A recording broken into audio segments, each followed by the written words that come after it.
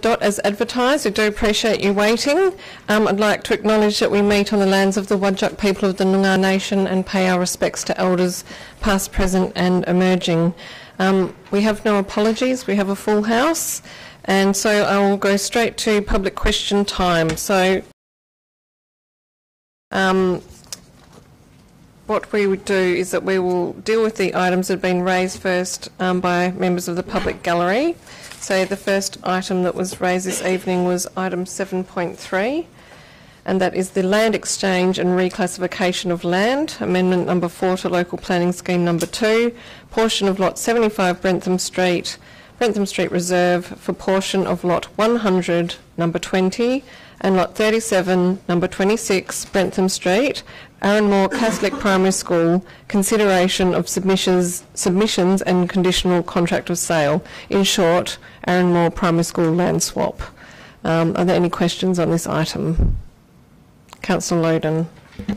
Thank you, Chair. Um, just on the questions raised from the gallery there, there were a couple that I was looking for administration's response on. Um, firstly, uh, the issue of access through that lane, through that piece of land there with the swap of the land, is that's currently is that currently used as an access route, and with this change, will that that no longer be there? Um, secondly, what consultation was undertaken? Could you run us through what consultation was undertaken with Rosewood?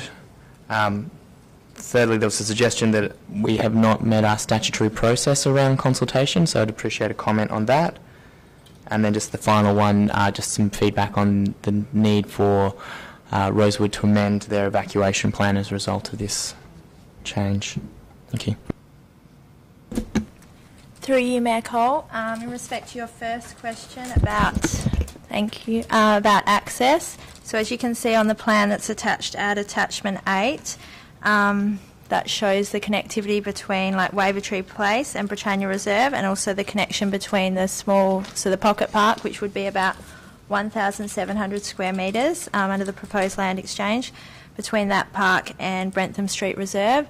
Um, as the Speaker said, the proposed land exchange would result in no access between Rosewood and the school, so the current one metre wide access way that's there would um, basically the school would now abut Rosewood under the proposed land exchange, so you wouldn't be able to access, um, there wouldn't be connectivity between the two portions of Brentham Street Reserve as there currently is, but there would be connectivity from Wavertree Place through to Britannia Reserve and from Rosewood and Wavertree Place through along Britannia Road to Britannia Reserve. So I guess there'd be alternative forms of connectivity. Um, your second question about consultation with Rosewood. So we did meet um, with Rosewood Aged Care and Lavan Legal on site. Um, I think, I'm not sure if the exact date is in the report, but on page 276 we've detailed the different um, forms of consultation we undertook. So we had a site visit with Rosewood and we talked about the connectivity and the other issues which they've outlined in their submission. Um, and your third point about the statutory requirements for consultation. So because Rosewood, A, um, sorry, because the school is a charitable organisation, so McAuley uh, Property Limited, who own the um, land, they come within the definition of a charity. We're not required to comply with Section 3.58 of the Local Government Act, so that means we don't have to go through the process of um, disposing of land via an auction, a tender, or by providing public notice. Notwithstanding that, we put the report to Council in December, subject to um, going through the process of public consultation, and we've since uh, put public notices up. There have been signs on the fence to let people know. There's been um, notices in the paper. We distributed leaflets to the um, properties abutting the Rosewood Aged Care and like where the Brent, where the land exchange is. Um, and there's been like notices in the media and on our social um, on our website and social media. And the evacuation plan. Through you, Mayor Cole, um, might have to take this on notice, but my understanding is um, that obviously that is the reserve, so there's no guarantee, like that is the city's land, so there's no guarantee of what that can be used for in the future. So we'll have to look into whether that was part of the approval, perhaps like yeah, so we'll provide some details in the um, briefing. Councillors? Councillor Fotakis. Thank you, Mayor. Um, through you, Mayor Cole, um, the other issue that was raised was uh, the retention of the mature trees on site. Um, can you um, maybe address just that? That was uh, one issue raised by the gallery. Through you, Mayor Cole, um, we've had a feature survey prepared now, which shows like the playground and the trees um, on the site, and that's at attachment attachment seven. Um, our understanding is the school has no plans to change what's on the land currently, so all the trees that are currently there, and you can see them on the feature survey, would remain as is. Um, it does mean that I think five of the mature trees that are currently in that um, area of Brentham Street Reserve between the school and the right of way, so and where lot 37 the music house is, they'll become within the school's land. So basically five mature trees would be transferred across. Councillor Fotakis, any further questions? Councillor Topelberg? Thank you. Just a couple of questions, just for my benefit. So, with a land transaction or proposed land transaction, the uh, potential receiver of lands from the city has who that is and what their status is as an organisation plays a role in whether or not we have to comply with the Act. Is that correct? So, I understand what, what the. Yeah, I, I would have thought that the Act would relate to the disposition of the land uh, or the, the requirements of the Act were about the process, not who the res- potential receiver of the land would be. Through you, Mayor Cole, pursuant to the regulations, so that's local government functions and general regulations, it sets out um, what type of groups, if you dispose of land to them, whether you have to provide, like comply with section 3.58 in the Local Government Act. So with community, sporting groups, anything that falls in within the scope of a charity, you don't need to comply with section 3.58.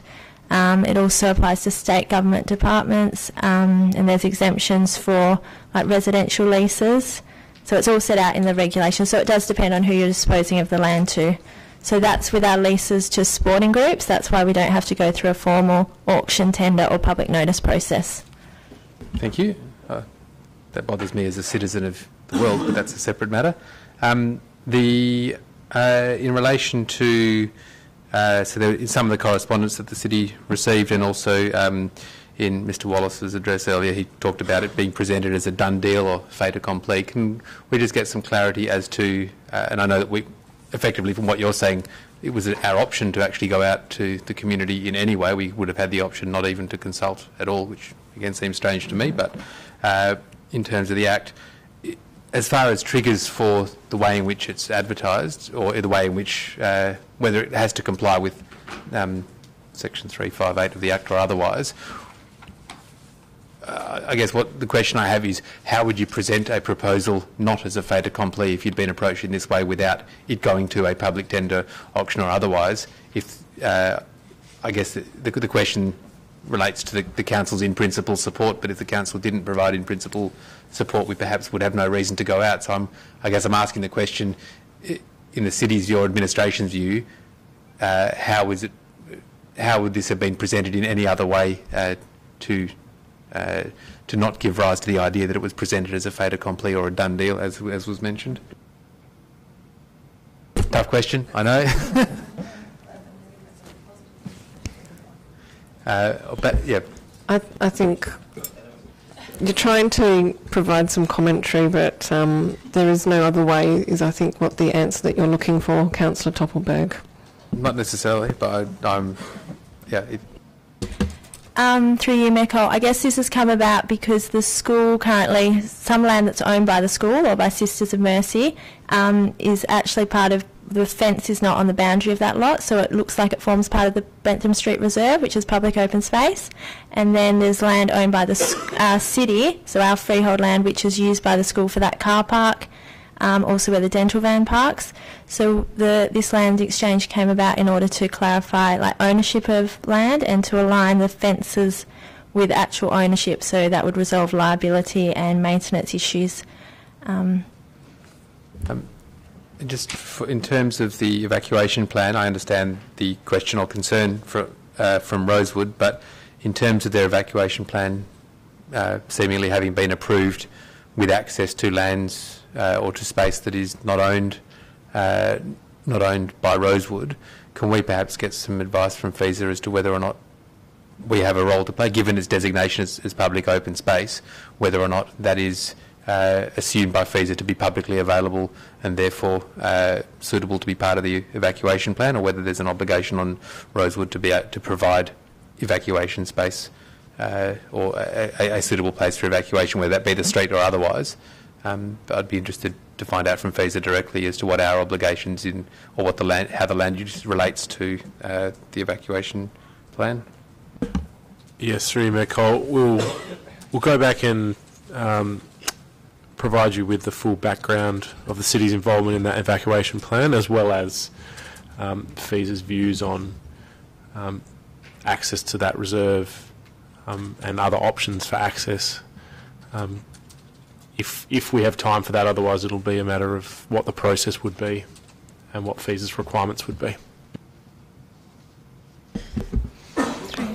Councillor Gontaszewski.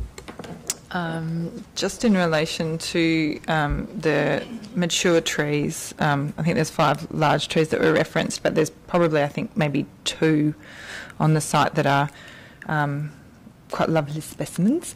And I was just wondering um, what options would be open to the city in relation to caveats around um, tree removal um, and um, approval or engagement with council in relation to that in future. Through you, Cole, we could impose a requirement that the trees are, um, re- remain there as part of the contract of sale, so it could be through a caveat or just a condition on the contract of sale.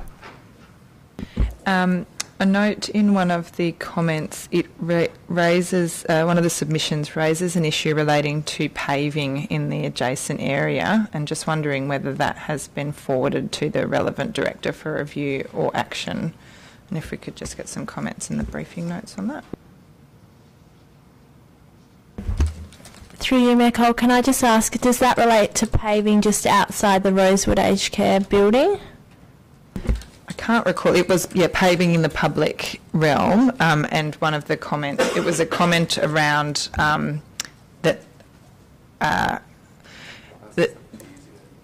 there we go. Yes, that had, been previously asked to be addressed, and we that the city had not managed to take care of that, and were then doing this, and so it was it was not related to the um, actual land swap. It was more just I just wondered whether um, that the consultation had raised an, an, an um, I guess a customer service issue, and whether that could be a I will find the words, but if that could be forwarded on for consideration around um, I guess paving renewal.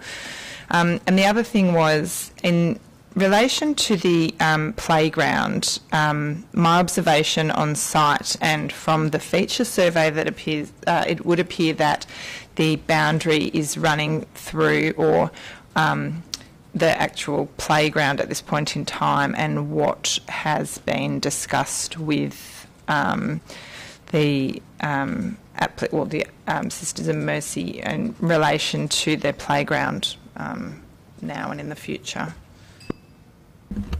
Through you, Mayor Cole, the feature survey shows that the old playground will basically abut the boundary between the school and the city's land if the land exchange goes ahead. Um, so that means, so we've spoken to the school about that and they're looking into whether the old playground, which is the one that the fence would be adjacent to, um, would, could be removed and replaced. So the newer playground which the city installed, that's away from the boundary, so that won't be impacted. Um, but the school would be looking into whether the old playground they'd need to move some portions. But basically, it's only it will be abutting um, the old playground. It's not actually going to be like going through the middle of it. I just note there's a reference in the feature survey that says metal climbing rail encroaching into lot 821. Um, but I guess also just it would be perhaps useful to clarify that on site um, as the two playgrounds may be old and new but present as one really when you're there. Um, and the other thing was that a note from the, the correspondence, uh, the, the, um, the item that um, the costs are not going to be borne by the city and wondered whether that should be or could be reflected in the recommendation um, so that it's not just part of the um, uh, the general commentary um, and whether that would be possible to put some wording in relating to that. Through you, Cole, yes, we can include that as a um, part of the recommendation. Oh, and just in relation to um, Ms. Vrooman's commentary around um, the um, residents of Rosewood being able to access a um, a walking route, I guess, from the um, around as to whether there um, it would be possible to um, it- I guess it, whether there is anything preventing Rosewood and the city, or the Rosewood from engaging in conversation with the city around putting an access or egress point into the um, section of the reserve, so that that walking route could potentially be maintained. Uh, through you, yes, it's possible for Rosewood to have gates to access the pocket park and um, a gate into the current Brentham Street Reserve area. Um, there also, uh, we might be looking at whether there's money on budget to actually have some paved paths within the reserve as well. Thank you, that's great.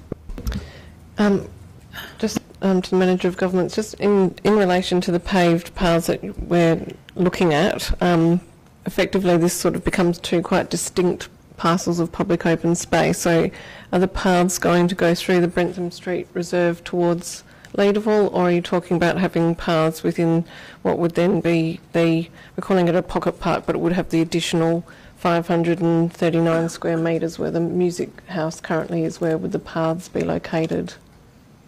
Cal- oh yes, Director of Infrastructure and Environment. Yeah, through you, Cole. Currently, on next year's budget sits an amount for paths in Brentham Street Reserve. The final locations of those paths have not been decided. There was a community budget submission about putting some of these paths in, and our response to that was, depending on the land swap, if it goes ahead and what that specific nature, we would then decide on the location of the paths. So as, as currently in the draft budget, there is money to put some paths in, and, and that's uh, open for discussion. And could we get some advice from administration about leaving um, pathway access between Rosewood and the um, and the park that would be um, effectively connected through Brentham Street, um, just in relation to the existing maintaining the existing access, and there'd have to be another um, round the corner so that you could get through to the park, and whether the whether that's something that administration could provide advice on in terms of talking to Sisters of Mercy about that, paving it, and then having permeable fencing on both sides so that there's no dark spots around the primary school. If we could at least get some feedback from Sisters of Mercy on that point, and the school, community perhaps. Um, Yep, and also if you could if you could approach Rosewood directly to talk to them about whether they would be interested in having direct access to the park from the west side of Rosewood directly into the park. Through you, Mayor Cole, yes, we can do that prior to the meeting. Thank you. Councillor Topelberg. So just a further point to that, I think, um, so effectively what we're asking is whether the school's support of the land swap is contingent upon uh, there being uh, no, or, well, the fence abutting Rosewood, or whether or not they would, uh, there would be an appetite to allow uh, some L-shaped uh, access to, to maintain that path. I think that that would need to be resolved together with the fencing issue, and my guess is that that means that we'd need to have the Sisters of Mercy and Rosewood and the city sitting together. I'm not sure whether that would be able to be achieved between now and next Tuesday, but if I'm hearing the question right, or the, in order to make a, an assessment of that, I think the feedback we would need would would have to be from the two organisations and then our assessment of it in terms of agreeing on the fencing, uh, because if in principle support is given to say a one and a half metre access way, but we're going to end up with a 1.8 metre high solid fence on each side, it poses other issues in terms of our responsibility. So I think we need to try and clarify that with the three parties between now and Friday, preferably. Through you, Mayor uh, Sisters of Mercy have advised that they would want um, permeable fencing that, which is the same as Rosewood Aged Care currently has around them. So it's like that black um, post, yes. Um, Sisters of Mercy are based over east, but they have said they can come over if required. So we can look at arranging a meeting with Rosewood um, and Lavan Legal and Sisters of Mercy, um, if that assists. And just a further question then perhaps to the CEO, given our non-requirement to advertise uh, any of this, um, if that change was proposed, given the feedback that we've had, uh, let's say that we were to get that response, if, if the council was of a mind to change uh, the proposed land swaps, I assume it would change the square meterage potentially and also the design and layout. Is that something that would, in your opinion, need to go back out for consultation, given, uh, well, the school community obviously wouldn't have had a chance to see that if it changes between now and next Tuesday either? Uh, through you, Mayor Cole, we would have to take advice from the Sisters of Mercy on their acceptability of that, given that it's currently done by agreement, um, and we can take on notice whether or not, uh, if this decision was made, it would be in response to the public consultation and submissions. Um, we'll get advice for council meeting next Tuesday on whether or not that would trigger re-advertising. Um, just to note, Mayor Cole, on top of that, we still have quite a long, complex uh, legal process to go through to amend the scheme to allow this to go through.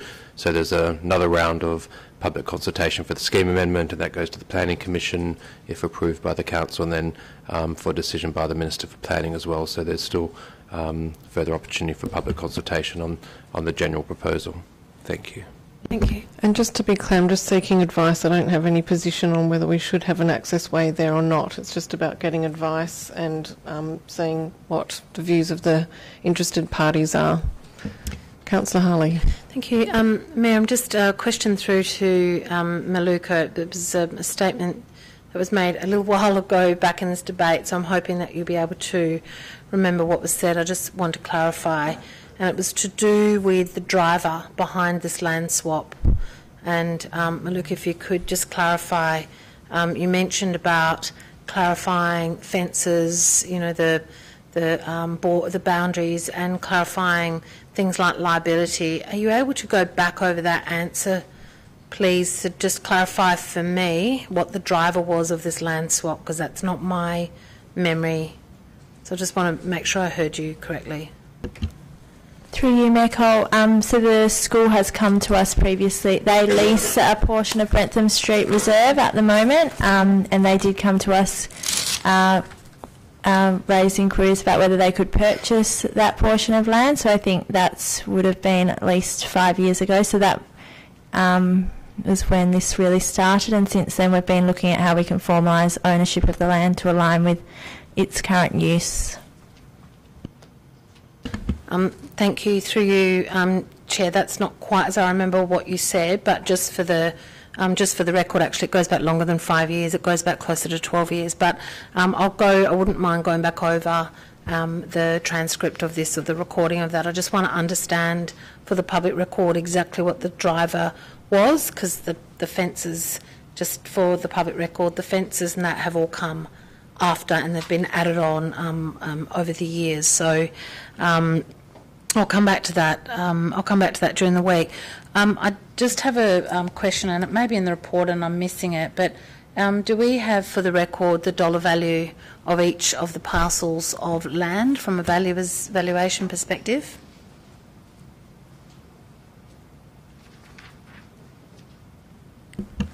Through you, Mayor Cole, I think that was provided in the um, report that went to Council in December, so I'll make sure I can provide you that information in the briefing notes. Okay, so you don't have it on the um, for now. Okay, that's unfortunate.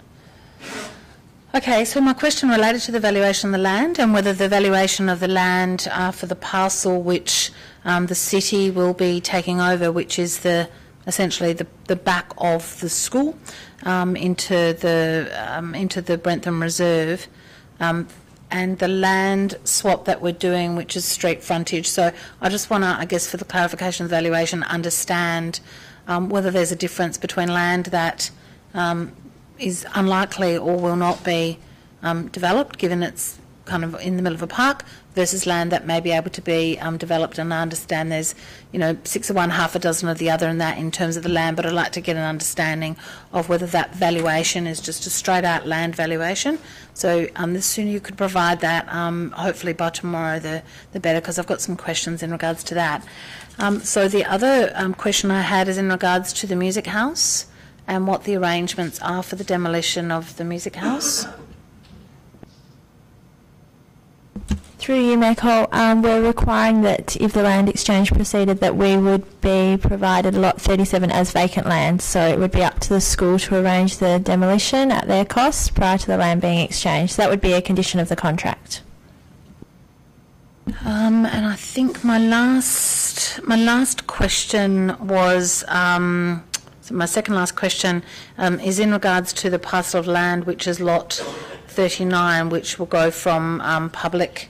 I think it's designated as public open space at the moment, and will go um, to public purpose primary school. Can you just clarify whether that land will now be able to be developed by the school for the purpose of construction of other school buildings? Through you, Mayor Cole, can I just clarify, do you mean lot 39, which is currently that's owned by the school, or do you mean lot 37? Um, so lot This 30 map, lot 30, lot 39, uh, sorry, lot, um, lot, this is tiny, um, the yellow section next to lot 39, I beg your pardon. The part that is currently owned by the city and is going to be swapped to Brentham. Yeah. Um, the proposal is that that would be public purpose primary school, so it wouldn't be able to be developed, or it would have to be developed in a um, consistent with that reservation. So my final question is if they are, if that land is able to be developed, are there any then restrictions that would exist for the city in the land that is next to that, sorry, my eyes are not so good, which then becomes lot 38 and where the music school is now? Would a school building, are there any restrictions then likely to arise for the city in having the option to sell and or develop that land themselves next to a school building. I just want to understand what the restrictions may be in building next to a school. Yes, through Mayor Cole. So that land is currently reserved for public open space. There's not, it's not proposed to change. Um, so the city would be restricted to develop it as public open space only, unless the city decided to change the reservation of that land and zone it something else, which would need to go through a scheme amendment process. Um, but the adjoining zoning wouldn't have wouldn't impose as um, public purpose primary school wouldn't have any restriction on our ability to do that. So there wouldn't be any difference between the current situation and uh, the proposed situation under this report. Um, Councillor Harley, the CEO has um, a response to your question earlier. Thanks. Through you, Mayor Cole. Councillor Harley, you asked about the market valuation of the land, and uh, I found the reference from the December uh, council agenda, which is page 540 of the uh, 11 December 2018 council meeting. Uh, the city did obtain a market valuation based on the square metre value used in the calculations of $300 per square metre. It was estimated that the value of the uh, 2,300 square metres of land proposed for disposal by the city is $690,000. And uh, given that there was going to be an equal um, proportion of land exchanged, um, our uh, recommendation was that no funds, um, no exchange of funds would be required. And thank you, CEO, and through your chair. So just to clarify, so that's straight out $300 per square metre. So there's no additional value put on the fact that land that is being exchanged is street frontage land adjacent to the school. So there's no no extra value from a valuation perspective. It's just straight out square square meterage. Yep. Okay. Thank you. Councillors, any further questions? Um, I was just going to ask the Manager of Governance, I think it'd be quite useful to have another um, attachment that shows the areas of land that are currently owned by the city but which are being used and fenced by the school, just so that we can actually have a very clear visual representation of how that land is currently being used and fenced um, and where that is owned by the city, including, so for example, the car park school car park, which is currently owned by the City of Vincent. Through you, Michael, yes, we can provide that um, before the council meeting. Thank you. And just in relation to the issue of the mature trees on site that would be potentially part of the land swap going to the Sisters of Mercy, the issue of a caveat was discussed, which is probably the stronger mechanism, but would you also raise the issue of the trees of significance um, register with the, with the Sisters of Mercy to see whether they'd be amenable to that? Through you, Cole, I'll discuss with the Director Infrastructure and Environment what would be most, or Development Services to see what would be suitable. Thank you, Manager. Any further questions? Okay. Uh, the next item that was raised by a member of the public gallery was item 5.1, which is 147 to 149 Brisbane Street, Perth, proposed change of use from office to multiple dwellings and unlisted use short stay accommodation. Questions on this item? No. Um, Director of Development Services, thank you for attending the site visit with myself and Councillor Gontaszewski and Councillor Topelberg today. Um, the issue of uh, looking at this application in terms of short-term accommodation came up and what differences there would be in the assessment and also um, I think there was the issue raised around reconfiguration of the internal layout where it does appear to be sort of corridors and dark and, and not really having access to light. Could you potentially just address some of those issues, particularly in relation to looking at this as, sh- as short-term accommodation as opposed to residential? Certainly. Um, through you, Mayor Cole, the the new Design WA um, up, the new part of the R codes that has been created through Design WA uh, will come into effect at the end of uh, this week. So um, any decision made by council next week on this application and other applications um, will need to be assessed against those provisions. Those provisions um, apply to residential development, but they won't they won't apply to a short-term accommodation. So a, a short-term dwelling proposal. Um, most of the concerns and the reasons for refusal that administration has set out in the recommendation relate to the impact um, and the amenity impact um, that the design and the development would have on the residents. Um, so they're all still they would all still be relevant issues to consider as part of a short-term uh, accommodation proposal, um, but the R codes themselves wouldn't apply in the form um, that they have been applied to this proposal if, if it became all short-term accommodation. Um, in relation to uh, the internal layout and the design, the the current proposal um, is to leave all the existing walls and um, the kitchenette and um, the infrastructure, the toilets that are currently in those offices exactly as they are, and to try and use that existing configuration um, for a residential dwelling. Um, that creates a lot of issues in relation to amenity. So ch- changes to that internal layout um, would benefit potentially would have a very significant benefit on the amenity of those of those spaces.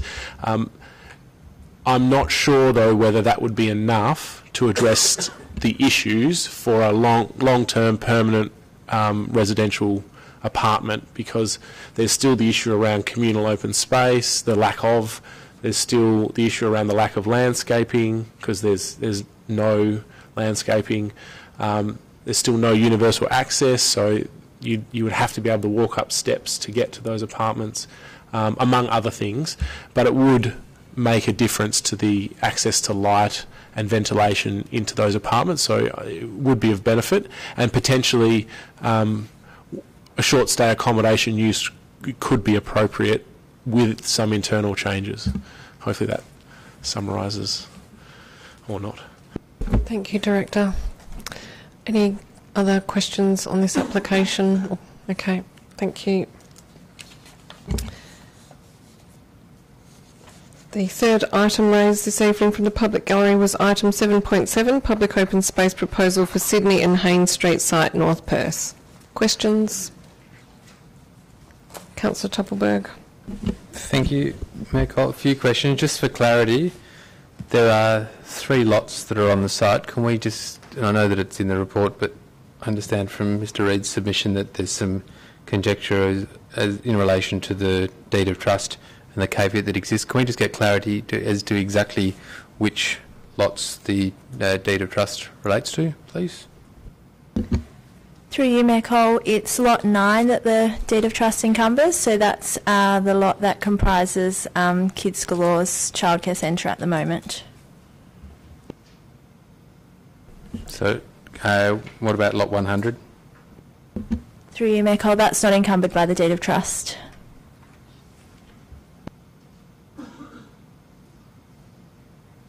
Okay. Um, and then I guess the the essence of the submission that was made um, during the in the de- during the deputation uh, by Mr. Reid uh, probably primarily relates to uh, the officer recommendation uh, part 6.2 which effectively says we'll have a look at it but we make no promises about it and effectively they're looking for us to at least provide some uh, level of support. There's also was some discussion about a potential differing of legal opinion, and obviously, um, with Kids Galore not being privy to it, to our legal advice, uh, we don't know what they know, and they don't know what we know, so it's a bit difficult to make comment on it. But uh, can we perhaps seek some clarity between now and Friday before the briefing notes are issued in relation to what?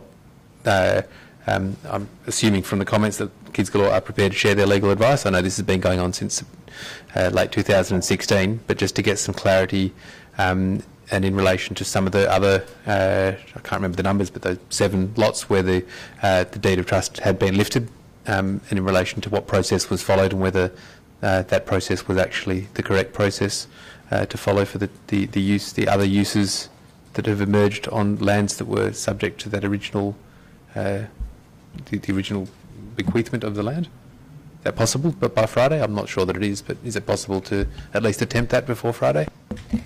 Through you, we can have a look and see if we can provide details. Um, yeah, in the briefing notes.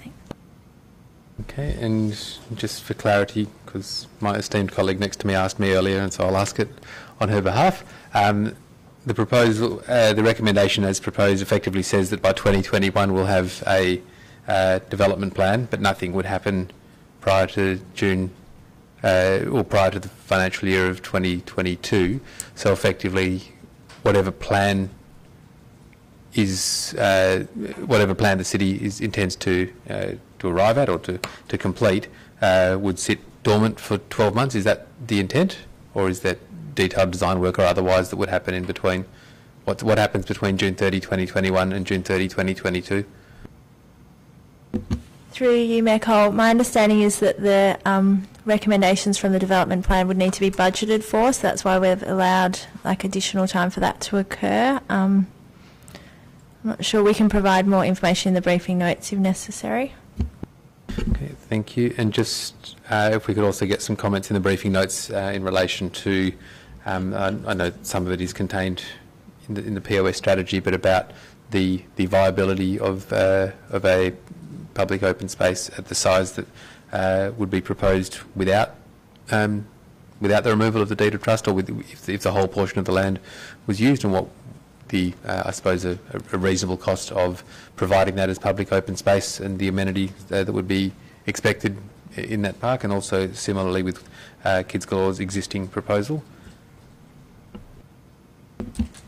Through you, Cole, we can provide um, cost estimates for converting the whole site and then also just lot nine to public open space. Is that what you're requesting? Well, Kids Galore's proposal, uh, whilst effectively, as was shown in their slide, whilst effectively there is uh, 1,571 metres to remain with the city, just they're looking at the reclaiming of some of the road reserve and otherwise, so effectively ending up with around 3,000 square metres, which is about half what it would otherwise be if the whole site was converted. If we can just get it, some indication of the costs, including the road reserve uh, side of things, etc., and uh, a uh, desktop valuation on uh, on the land at, that's part of Kids Galore's proposal to purchase as well. That would be helpful. Thank you.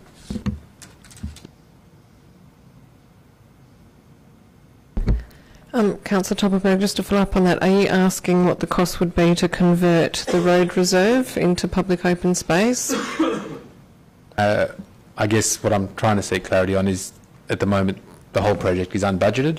Uh, if we were to go down the path Kids Galore has asked us to go down, what would that cost the city? potentially, and what would be the benefit to the city in terms of the land sale. And if we were to not go down that path, uh, the Kids Galore has asked, but look at the entire space as public open space, what's the potential cost to the city? I know they're going to be very broad numbers.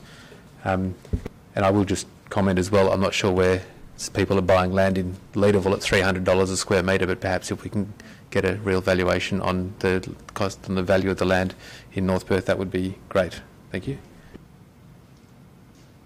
Um, or just to follow up on that, I'm very interested to find out an estimate of the cost of converting the road reserve, because that's talked about in terms of reclaiming um,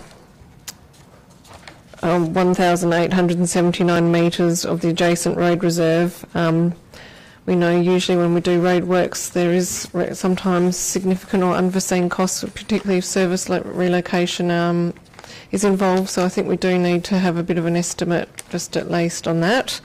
Um, and also interested, I think I'm asking similar to what you were asking, Councillor Topelberg, in terms of the different facility options. This is a question for the Director of um, Community and Business. The different facility options based on the different size of park that would be with the land sale, with the whole lot just as is, and with the lot with the um, with the road um, way um, added in. Uh, through you, Mayor Cole, we can certainly do that. It, it is important to note that uh, the using the public open space strategy levels of service, um, regardless, this would be regarded as local open space, and we deliberately did reduce, um, I guess, the the optimal size or the preferred size of local open space all the way back down to zero hectares, and we did that deliberately because we did know that when we were looking to acquire land, um, there may be occasions where land less than um, 0.3 of a hectare, which would be preferable, may not be achievable. So you will note there's um, two measurements in the public open space strategy, the preference for local open space not to be less than 0.3 of a hectare, but our levels of service then start at zero hectares, um, contemplating this type of situation. So we can certainly provide, I guess, an assessment of the level of amenity differences between the, the two um, possible outcomes.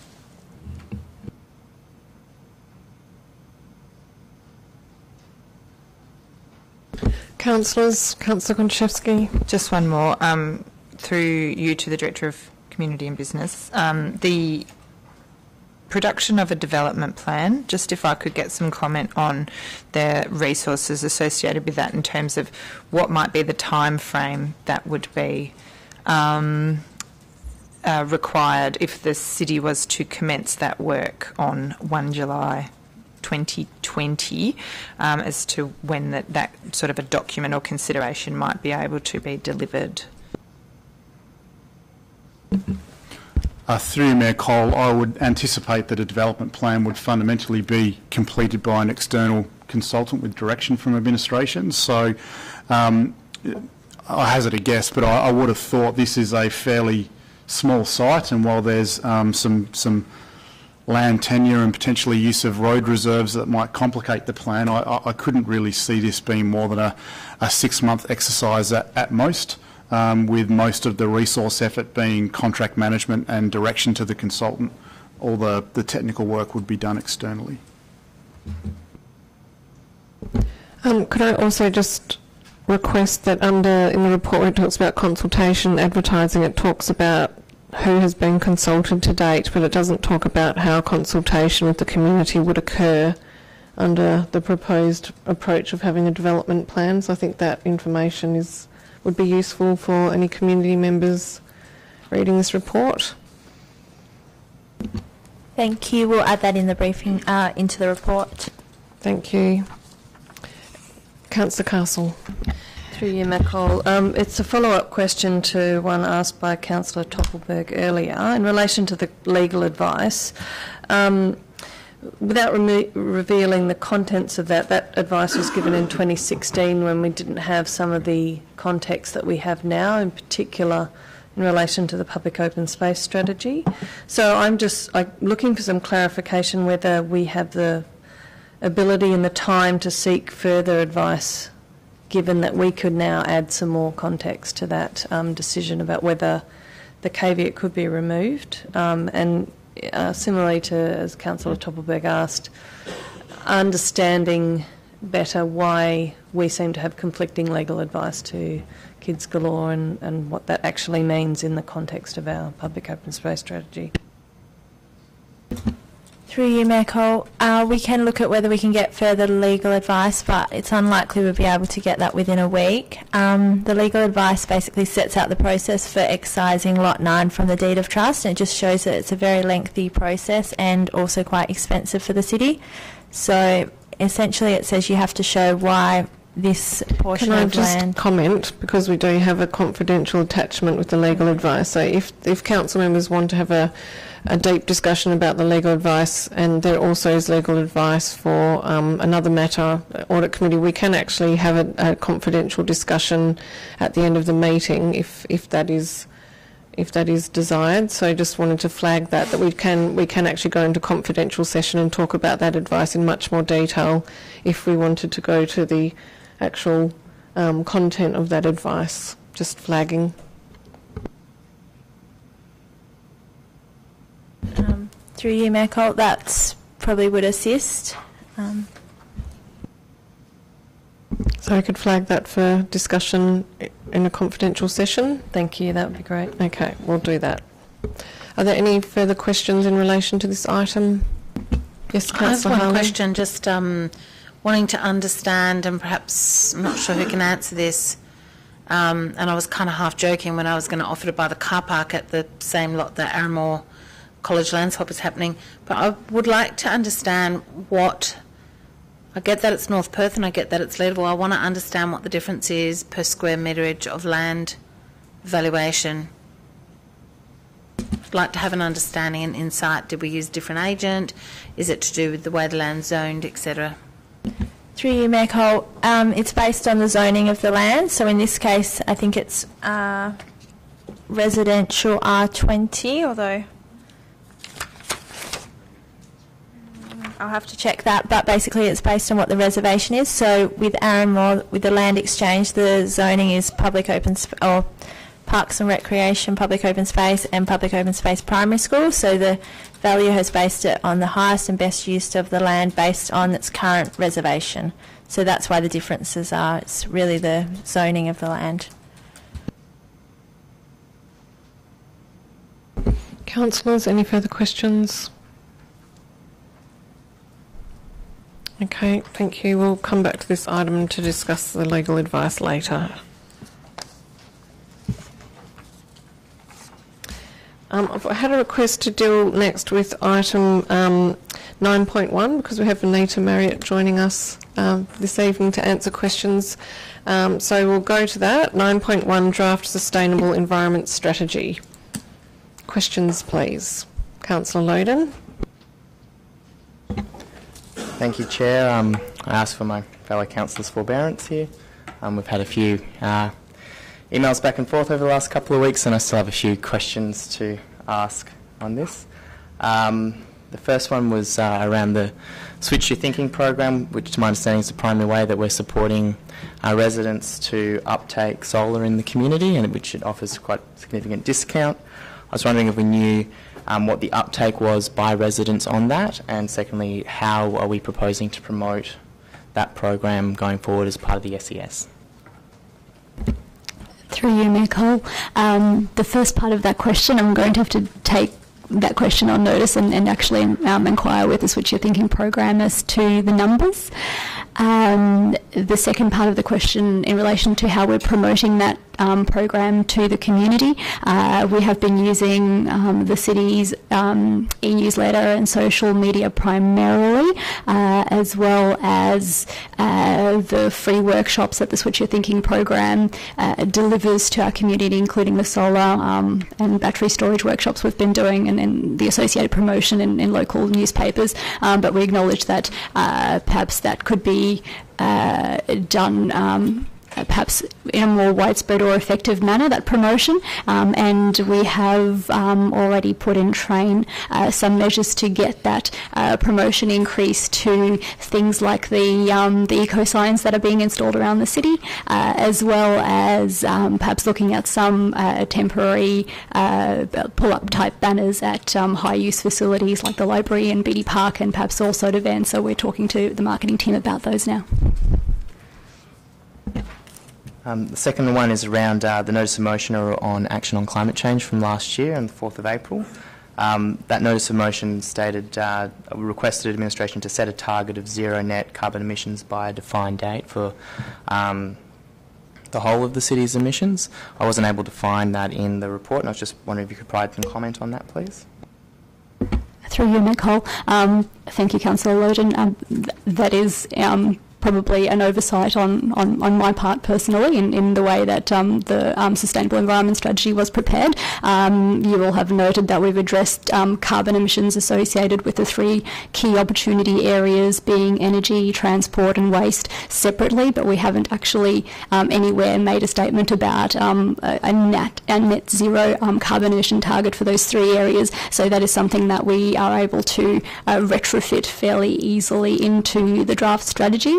Um, I've been having a look at um, the best way to do that, and perhaps that is to provide a separate statement um, prior to the first key opportunity area um, being discussed. So, just ahead of energy, we can make a, statement about the overall um, net carbon emission target. And we're at the moment proposing to make that the same target date as we have for energy, uh, which we've made at, at 2050 in, in line with the IPCC recommendation. Thank you. Uh, third one is around um, our waste emissions. So we've, as part of our waste strategy, which sits underneath this, um, we have a target of zero waste to landfill by 2028, which will obviously reduce the amount of CO2 we produce, and the resulting residual will be from our um, our management of those organic materials. Um, how do we what? How do we consider those carbon emissions when we're selecting which uh, organic management strategy? How is that considered as part of the waste strategy? Through you, Nicole. Uh, so the details of that are yet to be worked out through the implementation of the waste strategy. So um, projects one and five, if I remember correctly, of the waste strategy are going to be looking at dealing with with the organic components of waste.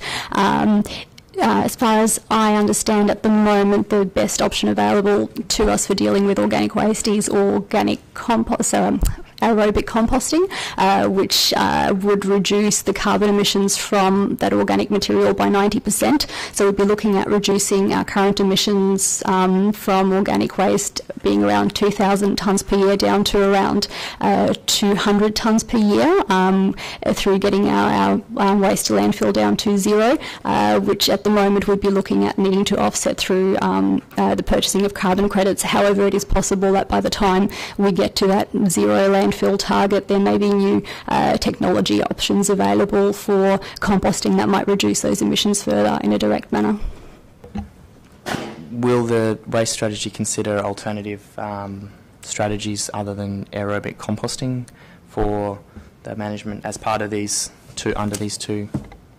Um, are they strategies or plans or? Through you, Nicole. Um, so I think that's something that council would determine, wouldn't it be, Councillor Loden? We've got an existing waste strategy, uh, but I, it, to my understanding, the waste strategy states out that we will look at FOGO, for example. I'm unclear if that FOGO assessment, when it looks at pulling out the organics, will actually con- consider different options for organics as documented in the waste strategy, or if that's something separate through my call if I can add something, uh, as I'm responsible for the waste strategy and I'm sitting next to Anita, so I'll do my best. Um, the waste strategy does say that um, one of the approaches we'll use in every decision we make is to consider carbon emissions, so that's sort of implicit in every decision we make. In terms of sort of things like composting and those specific decisions, I think in reality it'll depend on what's available on the market at the time. And remember, we are trying to achieve zero carbon emissions over quite a long period of time. So what's available now may be different to what's available.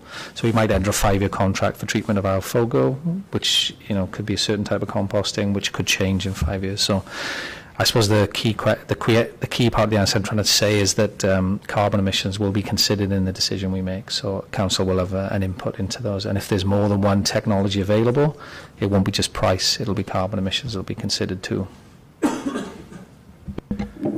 Um, did the city investigate the purchase of offsets for, given we have roughly 8,000 tonnes of CO2, it's not a huge annual amount, uh, purchase of offsets for that, either at this point in time or in the future? And do you have any idea on the costs that that would be on an annual basis? Mm. Through you, Mayor Cole. Um, so we have had a look at uh, what it would cost to potentially offset our current and future carbon emissions. So um, our total uh, car- operational carbon emissions as of the baseline year of 2017-18 um, are just over 8,300 tonnes per annum. Uh, we are estimating that at the moment we might be paying around $8 per tonne to offset that carbon. That's um, based on other local governments and what, what they're currently paying, um, which would come to around $67,000 per year for our total carbon emissions as of baseline year.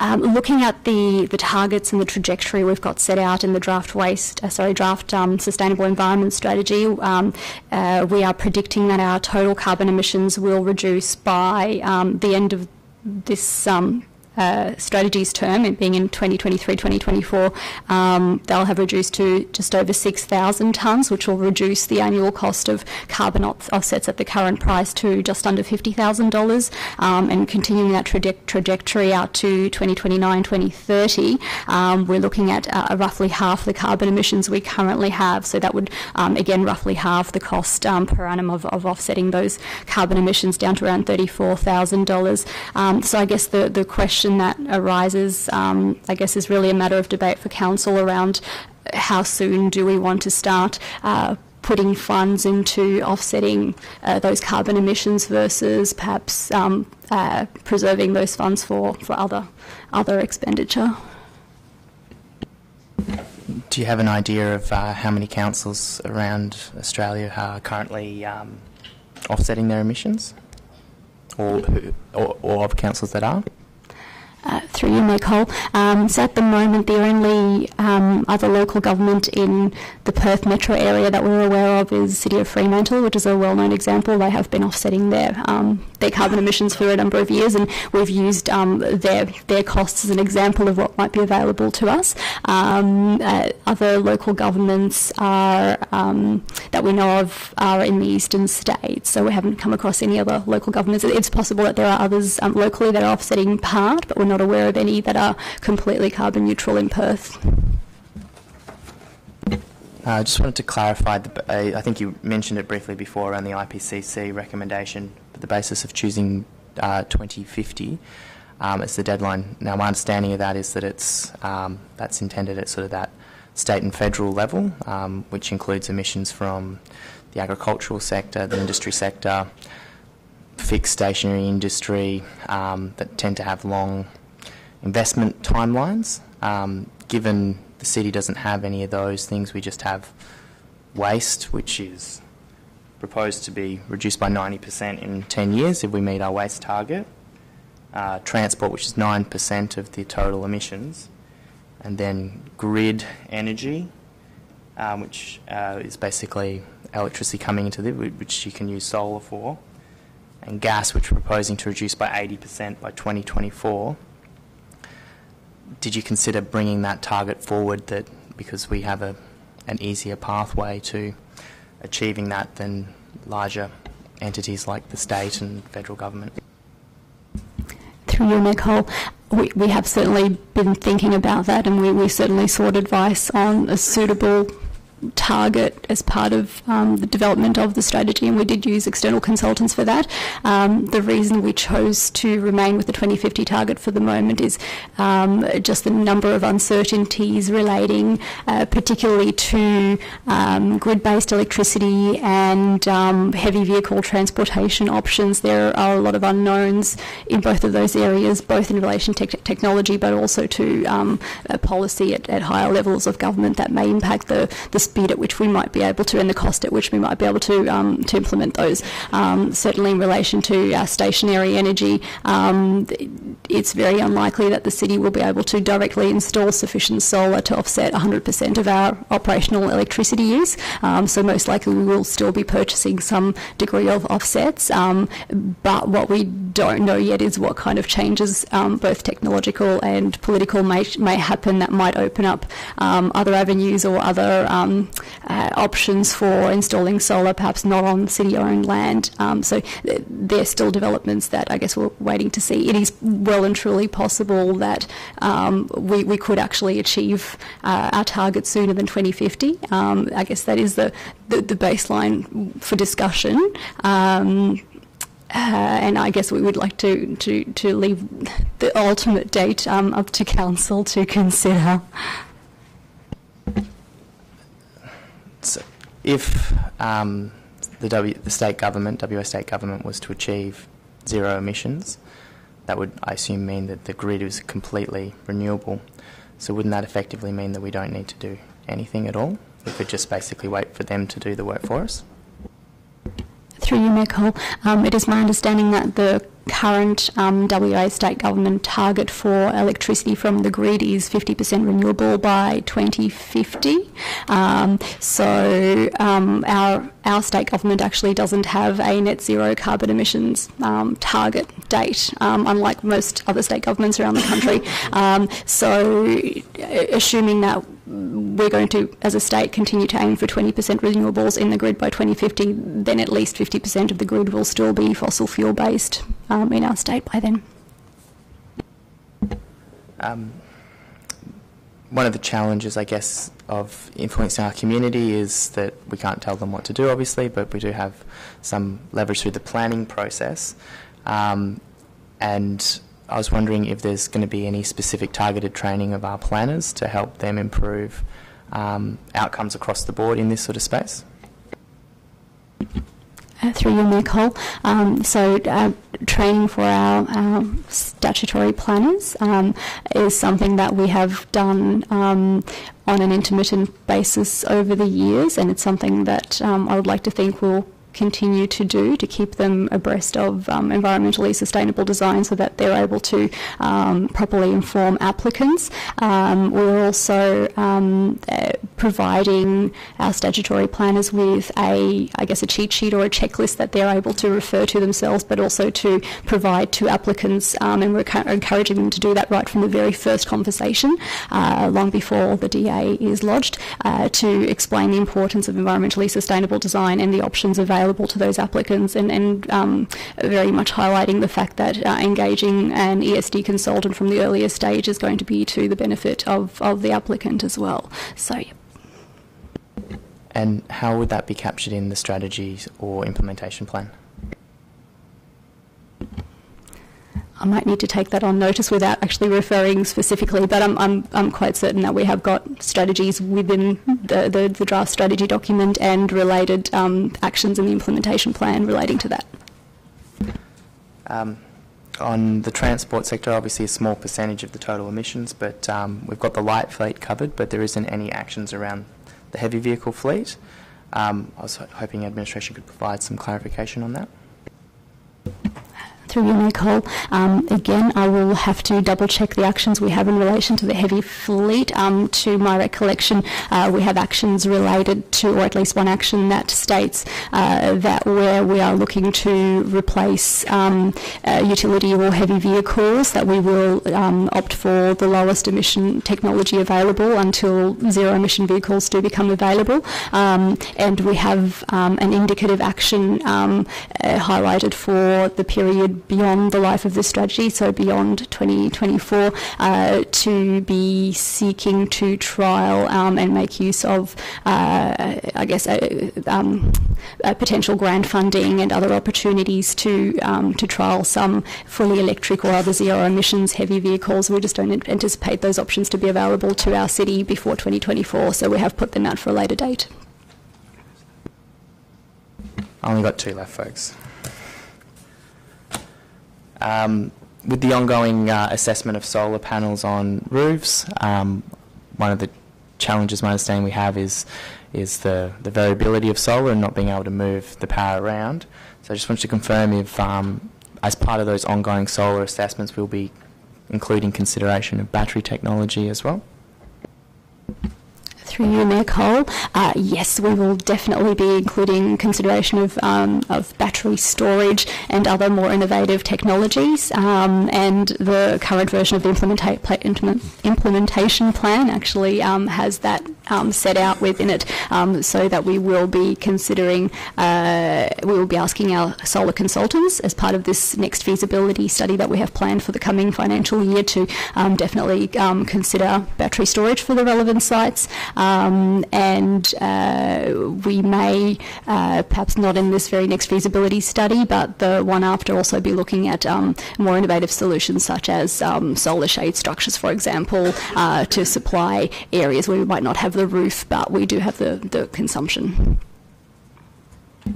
And last one, one of my uh, one of the barriers I'm aware of is that we don't have an ability to move energy around. So we might produce a surplus in one place and have a deficit elsewhere, and it's also difficult for us to then purchase, say, from local residents or businesses that have a surplus supply of renewable energy. Um, and one of the mechanisms for that is um, like a peer- peer-to-peer trading. Um, I was wondering if that is included in the strategy Through you. Uh, yes, it is actually captured in the implementation plan as an action now, or we may have several actions related to to um, that item. Uh, at the moment, there are already. Um, uh, um, actions in train, I guess, at the at the state government level, where um, uh, they're certainly starting to move towards enabling peer-to-peer energy sharing. Um, various state government agencies are supporting the trials of peer-to-peer uh, sharing technologies, um, and from having conversations with those agencies, it looks like they are preparing for the required regulatory changes to make that possible. Um, so that's very encouraging. But we have also included actions in the implementation plan to further uh, advocate for, for that to be made available as soon as possible. Thank you for your patience. Uh, Through you, Mayor Cole, just to clarify, and I'm looking half at Anita and half at Councillor Loden, that uh, we can certainly um, put some language in the draft strategy um, between now and uh, the meeting next Tuesday to um, clarify that we will work towards zero net emissions, subject to council uh, considering and forming a policy on potential purchasing of, of offsets if there's any gap, and um, taking into account what those budget implications would be. We'll make it sound a little bit more concise than that, but um, we'll do that over the next few days. Thanks. Um, just on that though, would that bind council to a position where we're buying offsets as opposed to taking actions to reduce emissions? Uh, through you, Mayor Connor, I, um, the language would be about um, working towards that long-term target, uh, and then for us to do some work closer through throughout the implementation of this strategy, to come back to council with a proposed policy on whether or not council wanted to uh, consider purchasing offsets, and then for us to be able to provide you um, some much more. Um, uh, certain numbers around potential costs and implications that would be put into a, into a budgeting process. Can I then ask that, given that a lot of the actions in the strategy will reduce our emissions over time, it would be good to have um, a sort of time frame of offset costs and you know how they're then impacted. I know it's a bit of a guessing game, but obviously as the actions implemented, the offset costs will come down. So if it could, that could be factored into the discussion. I think that would be useful. Any questions on the environmental strategy? Um, I just had some. Um, I'll probably repeat myself a bit tonight, but just in terms of page three, Um, I just, I like that, I really like that there's a diagram that shows how the strategy sits. But I think that it could possibly be tweaked a little bit because I think it would be really good to make it clear that there's a waste, that we do have a waste strategy. And my understanding is, is that the waste strategy um, is a sort of equal document in standing in that it's a strategy. So in terms of the little strategy documents picked out there, would probably, or would it be possible to have environmental strategy, environment, sustainable environment strategy, waste strategy, other city strategies, and then I think that where does the greening plan sit? Is does the greening plan sit underneath and feed into the environment strategy? Um, through, through Nicole, um, yes, you are correct. The greening plan actually does sit under the sustainable environment strategy, so we, we can amend that So it would be great then to sort of, I think, highlight there's the sustainable environment strategy which sits alongside the waste strategy, um, and that there, and then a third tier down that shows any informing plans or documents that feed into to this strategy, so that when people are reading this, while this has a section on waste, it should be very obvious to the reader that there's a standalone waste strategy with further information, and, and maybe that even could potentially be considered to have that added in under the waste section that, that to, you know that there is the waste strategy and provide that kind of link back through to that. Through you, Nicole, that, that's definitely possible. Yep. Thank you. And the other question I had is just around the implementation on page page 31. And, oh, sorry, not implementation. That's all handled very well. It's the evaluation. I just wondered whether, and this is probably a general question in terms of our strategies. We probably should have some kind of um, reporting time frame within our strategy documents for reporting back to council, for example, on progress under strategies that are either five or ten years. So I'm just wondering if for this strategy and for others, just generally, whether we could actually have some kind of reporting time frames um, where we have documents that are five, ten years in length. So just um, because everything else, you know, there's the implementation with the actions, etc. But at what point is there sort of like a formal, is there a formal evaluation every 12 months at the midway point, etc. And what does that look like? Is it just a report up to council, etc. So perhaps um, just generally with our strategies that could be considered. Through you, Nicole, um, yep, we can definitely look at that. At the moment, um, the statement that we've made, um, either I'm not sure if it's in the draft strategy or the implementation plan, possibly both. We have said that um, we will be reporting through the city's annual um, annual report um, on on our progress in relation to um, our performance in those various key opportunity areas. Um, but yes, we can certainly look at that further. Yep. Yeah. Um, and look, I looked at it, and at first I thought this is a very lengthy document, but it's very detailed and it's very well constructed, and I think um, there's nothing here that I would take out. But I just my first impression was this is a lengthy document. How will community members kind of engage with this if it's a brief stepping in and engaging? So um, I think that it's probably just by looking at those tables up front, but um, in terms of length, it is probably a lot longer than some of our other documents, and I think that the detail and the content is there, so it's not a criticism at all. Um, so I'm not advocating that it's shortened at all. I just, I just thought I'd comment that it is quite a lengthy document, but I think it's because it's got a lot of content and good content attached to it. Any other questions? Okay, moving on then. Thank you, Anita. Um, yes, the CEO has a, a disclosure of impartiality interest to read out. Thank you, Mayor Cole. I missed my opportunity. I did receive a declaration of impartiality from Councillor Murphy, who's actually just left the room. As in relation to item point 5.1, Councillor Murphy declared that Bianca Sandri is a member of the town team movement, of which Councillor Murphy is the chair and a part-time worker. Thank you. Um, okay, so we'll just go through sequentially now for the rest of the items. So, item 5.2, 4 to 10 Cow Street and 199 to 241 Fitzgerald Street, West Perth, Local Development Plan. Councillor Loden. Thank you, Chair. Um, I'm aware it's explained in words in the um, briefing about the wetlands trail map, how we na- navigate around that. I can't visualise it. I was hoping that we could have some kind of map that just sort of shows how that wetland route will now work without that uh, that piece of utilising the the water corp um, land. Yes, through Mayor Cole, um, we certainly can provide a, a plan in the briefing notes or the council report that, or both, that shows where it currently sits. Um, it sits in that location, uh, running along Laura and uh, Fitzgerald, because we don't own the water corp um, easement, and we can't plant anything on top of it um, because of the infrastructure that sits underneath it. But we can show exactly where it currently sits, um, and obviously the applicant uh, for this LDP has proposed to provide significant landscaping and canopy to support and basically add to that uh, green link. So Councillor Loden, any further questions? Councillors, Councillor Hallett.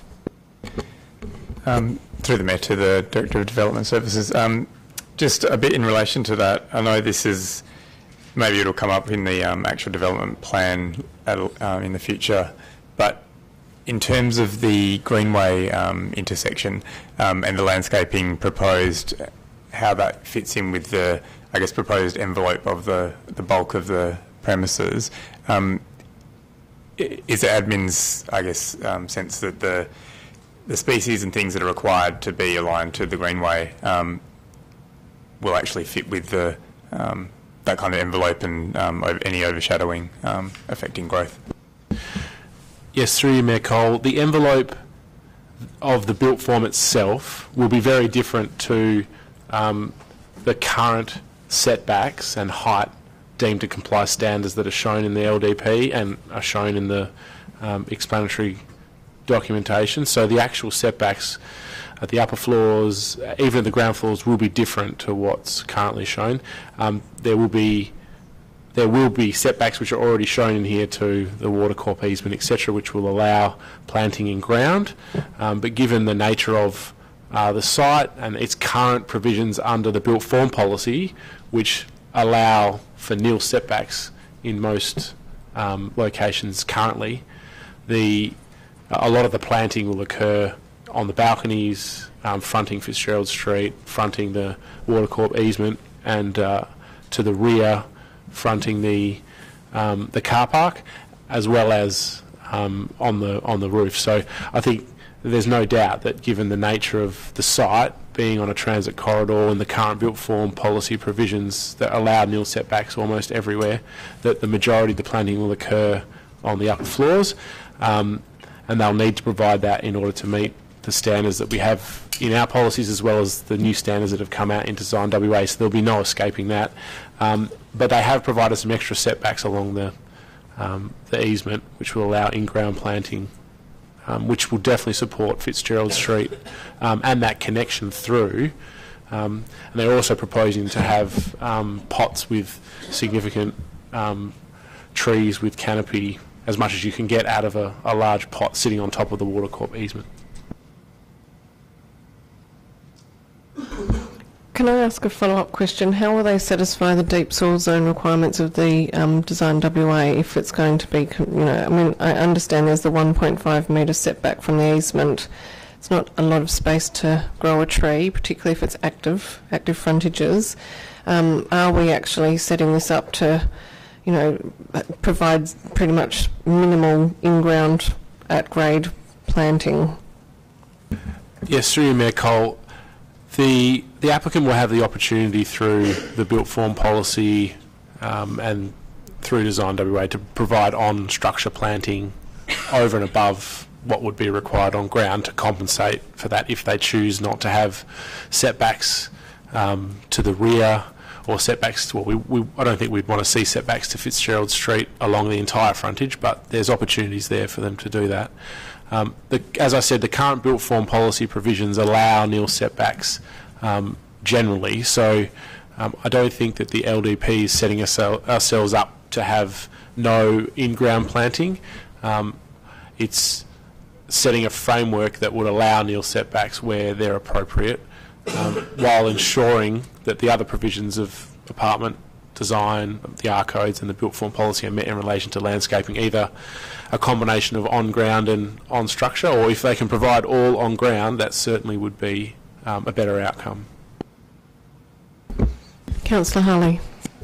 Just have a question on that because it's a little bit, it's a little bit chicken and egg. It's a for my um, for the answer that you've just provided through your chair.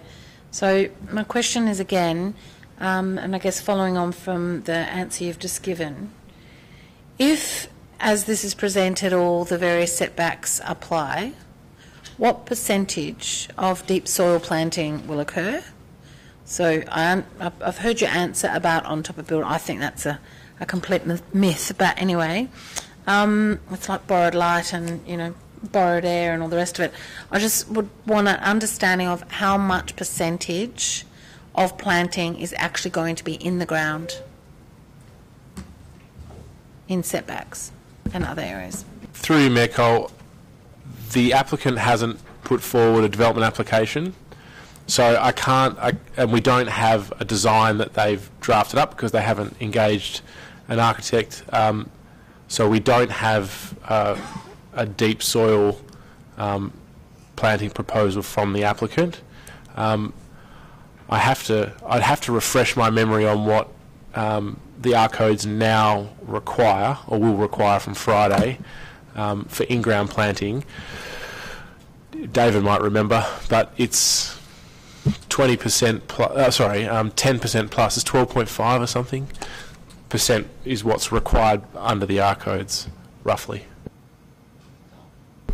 I thought Design WA was 12%, but then you could get concessions if you have mature trees. Is that right? So 12%, where are we going to get 12% on this LDP? You can offset for planting on structure. Okay. Uh, through you, Mayor Cole, we- so the planting on structure offsets would um, be where the site just can't physically can contain th- those, so that would be going through the performance-based assessment. I'm not sure how to put into a question my deep disappointment with that utter nonsense, but my it's just a complete con in my view.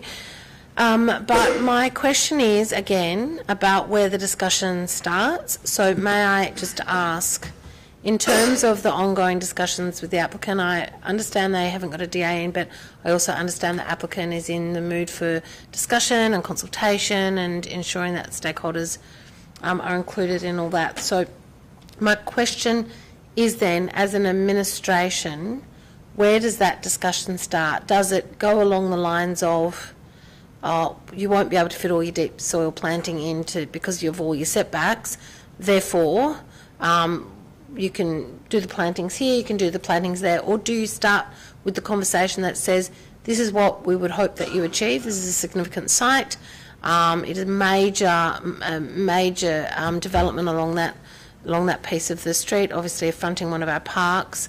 Do you start with the conversation of strongly encouraging them to try and achieve deep, deep soil planting percentages without the, without the what I would term, in my personal words, the con of on structure planting? Through you, the city always starts with what the required, what the deemed to comply standard is. So in this case, 12%, we would advise the applicant to provide 12% deep soil on ground. Just because the deemed to comply setback is nil doesn't mean that the building should be boundary to boundary. Um, this happens all the time, and buildings aren't built boundary to boundary um, most of the time there's landscaping of some form at the rear or at the street frontage or internally. So um, I can't think of any examples in the last few years where an applicant hasn't provided in-ground deep soil.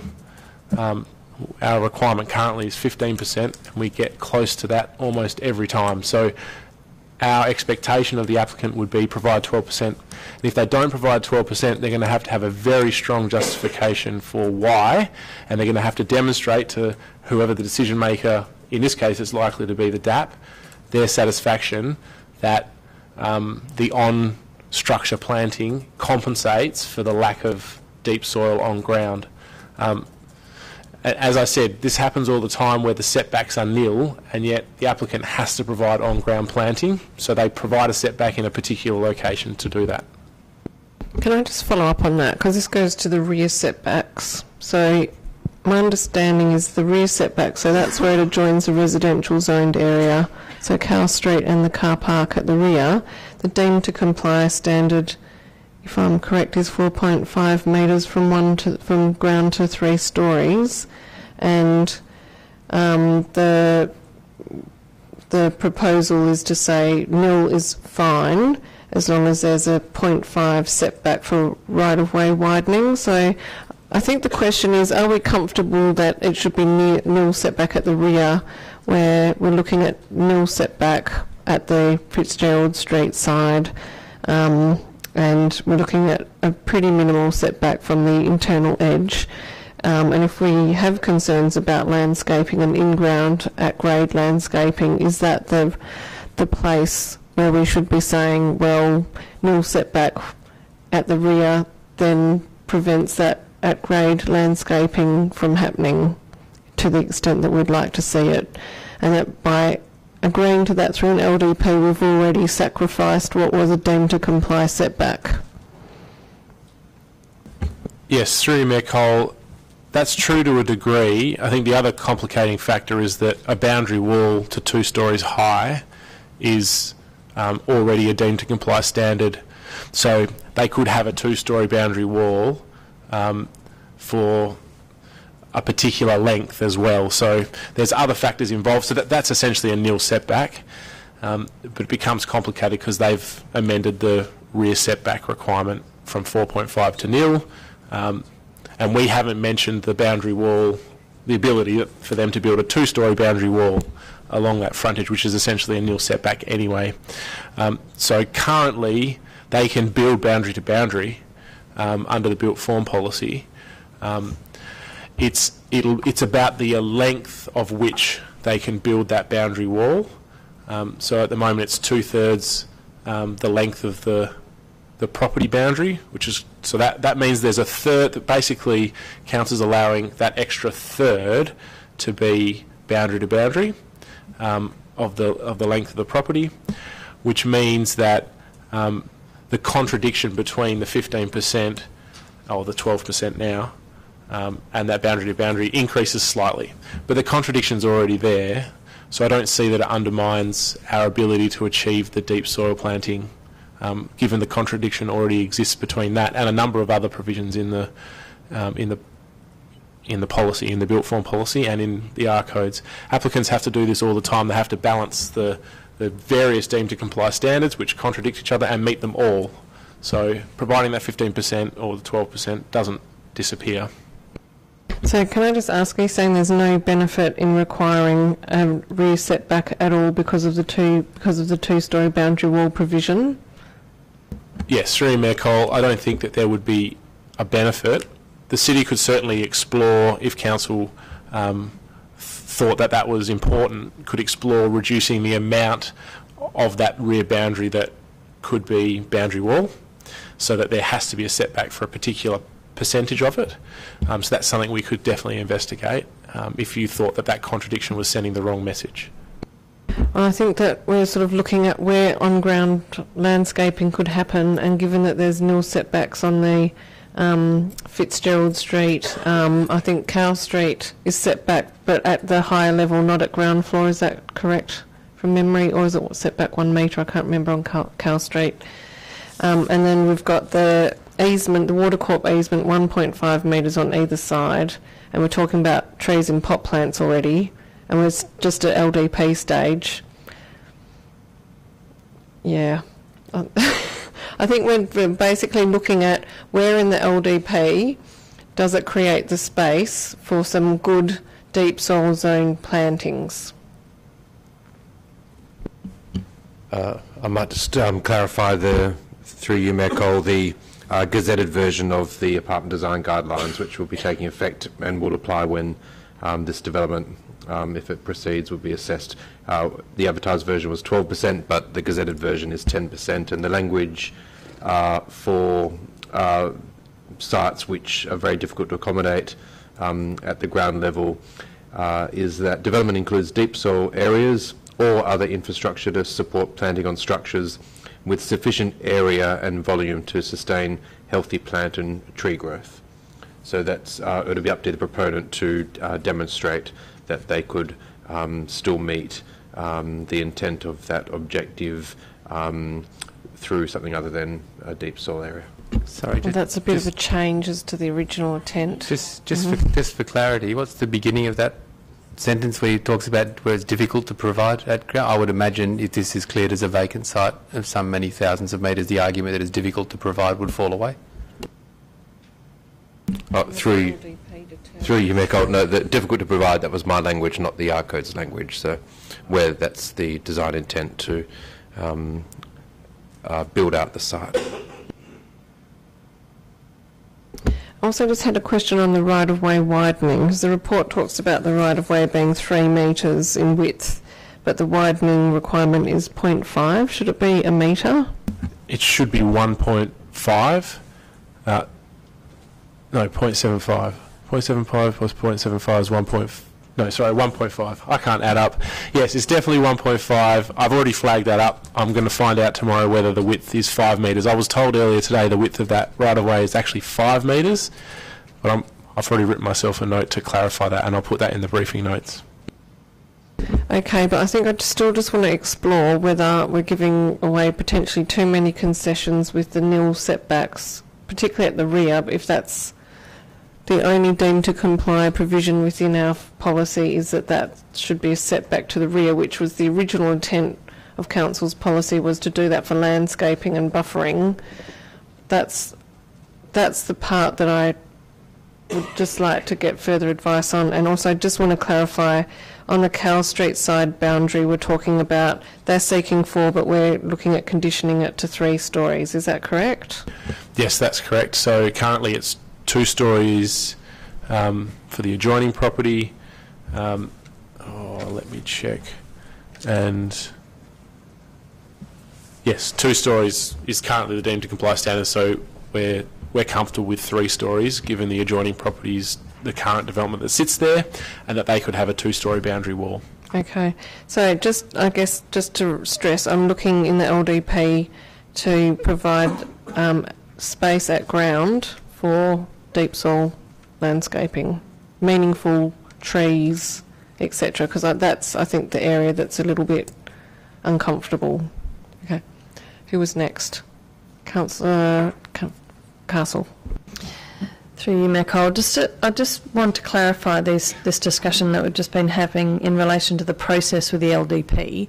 By, if we are to approve this in its current form, we're only approving maximum envelope. Um, my first question is, does that limit any decision-making capability that we or the DAP has in regards to the development application? So does that signal in, an intention to allow that full envelope to be developed? Um, in terms of, you know, it's as in it's already approved in the LDP, therefore it should be approved in the DA. That's my first question. And if not, then does it also signal an intention of council to allow this type of development to happen, particularly given that it won't necessarily be this council that makes that decision. So if this presents to the DAP in a couple of years' time with the LDP as currently um, designed, would that be considered as an element by the DAP that council was obviously quite happy for it to be nil setback on all sides? Yes, through Mayor Cole, having an LDP doesn't um, at all is not a, not a relevant consideration that council approved that LDP. So council's decision to um, support an LDP wouldn't be a relevant consideration for the JDAP that the council supports a development of this scale on the site. What would be relevant is the provisions that were in the LDP themselves itself. Um, the way the um, the R codes will net will work from the end of this week onwards um, is no longer it's no longer the same as the way the R codes work. So the R codes um, have deemed to comply standards. If those standards are met, then the issue isn't discussed anymore. Um, you, you then get to the landscaping provision. If that's not met, then that becomes an issue. But um, so you need to meet all of them. But if you've met a deemed to comply standard, then the setback wouldn't be discussed any further. The way the new R codes work for apartments and mixed-use developments such as this will be, um, is that the acceptable outcomes, which are what this LDP is proposing to include, are just one part of the consideration. The main consideration is whether it meets the objective, the individual element objective for setbacks um, and for landscaping. So those will be the issues that are discussed, and the impact of this LDP is actually a lot less than it would have been um, under the old R codes because even if you meet the acceptable outcome and the setback is provided, um, the element objective becomes the core issue, and so um, which council can't amend through an LDP, so it is what it is in the R codes. Um, and even if the acceptable outcome is met, or the old deemed to comply standards met, that doesn't mean it's appropriate because an assessment still needs to be done about whether the overall development itself achieves the, the outcomes that the R codes set in relation to landscaping and setbacks, etc. So I hope that uh, it's become more confusing, but I hope that clarifies it a little bit. I guess one follow-up to that then, is it, is it possible to write into this LDP to reflect council's potentially what their um, position is, which may be that nil setbacks are acceptable on one of those boundaries but not both, and that, that without necessarily saying that, that landscaping we consider should happen at the rear, but that it has to happen. Um, is there a way for us to build that into this LDP so that it is quite clear um, that while nil setback might be acceptable at the front or at the rear, not not necessarily at both? Yes, I think an objective through you, Mayor could be um, drafted up that makes it clear what the intent is, that nil setbacks are acceptable provided the in-ground planting that delivers canopy coverage um, is is delivered uh, at an at an appropriate rate or whatever that is. At ground level, correct. In ground, deep soil zone, and mature canopy cover planting. Yep. Sounds good. So we have a new objective. Okay. I still would like some advice on the rear setback still. Okay. Councillor Topelberg. Uh, Thank you. Just a couple of things, just further to Councillor Castle's question, perhaps an advice note that just clarifies Council's understanding of the role of the LDP would be helpful if at some future point a consultant took a different view to the uh, current Director of Development Services about the value of the LDP and the setbacks that are shown in there. So that just might be helpful uh, uh, to accompany the, the recommendation. My question relates to uh, part 2.4 of the recommendation, which uh, refers to local planning policy 7.7.1. Uh, what validity does that have if that policy is rescinded and replaced by something else at the time when a DA comes in? So, for instance, if the parking, if it just has a different name, but the parking restrictions were greater, lesser, or otherwise, is there a catch-all that says the policy of the day, or if that policy no longer exists, does it then mean that the LDP doesn't have to address that particular policy, and that would be the same, I guess, for the state planning policies. So if this comes back in six years' time and those policies have changed by number or by reference, uh, do we need a catch-all in there to say that it's the prevailing policy of the day? Yes, through you, Mayor Cole, we would, there may be a need to, to clarify that. Um, so we'll have a look at adding a little asterisk and a, um, a clarification point at the end of the LDP. But just to be clear, if, if that parking policy is replaced by a new parking policy, the intent is that the new parking policy is what applies, and the same with the R codes. If the R codes changes, then whatever replaces the R codes is what is intended to be applied there. So we'll make sure that um, we add a little note to clarify that at the bottom of the LDP. Councillors, Councillor Gontaszewski. Um, just one in relation to the active frontages. I note that it says the auditorium or any auditorium would be exempt from any active frontage requirements, and just whether it has been assessed around um, whether it would have merit in specifying a, I guess, proportion of, say, a, yeah, the Fitzgerald Street frontage or um, a key frontage that would be acceptable to um, in that regard because I don't see that clause as actually providing for an active frontage if the entire frontage is auditorium. Could I just get some commentary on that? Yes, through you, Mayor Cole. The active frontage provision uh, isn't doesn't supersede any of the other provisions that exist in the built form policy or the R codes. So we didn't have a concern um, with that auditorium exemption because the, all of the other provisions around active frontages that are set out in the built form policy would still apply anyway. But there, there would probably be value in making it clear exactly what the proportion is because the applicant's not proposing a significant proportion. It was about a quarter, I think, from memory of that half of the site. So it's not a significant area um, and it would provide clarity again um, if a proportion was included. So we'll go back and speak to them about that and see if we can have that added in.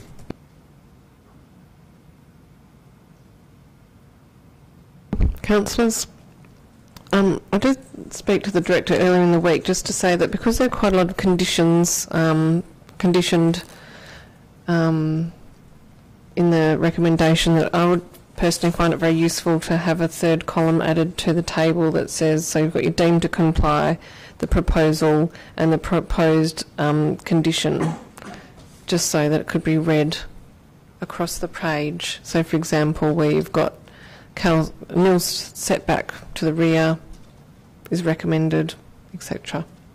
So is that possible? Yes, through Mayor we can, we will, and we already have started looking at uh, providing in that um, summary assessment the actual outcome and recommendation that, um, so that there's one table that sets all of that out. It'll obviously be a summary version, but um, Yep. I think it's achievable. Yep. That would be great, thank you. Are there any further questions on the LDP? Okay, great. Next item is 5.3 review of policy number 3.8.12 mobile food vendor.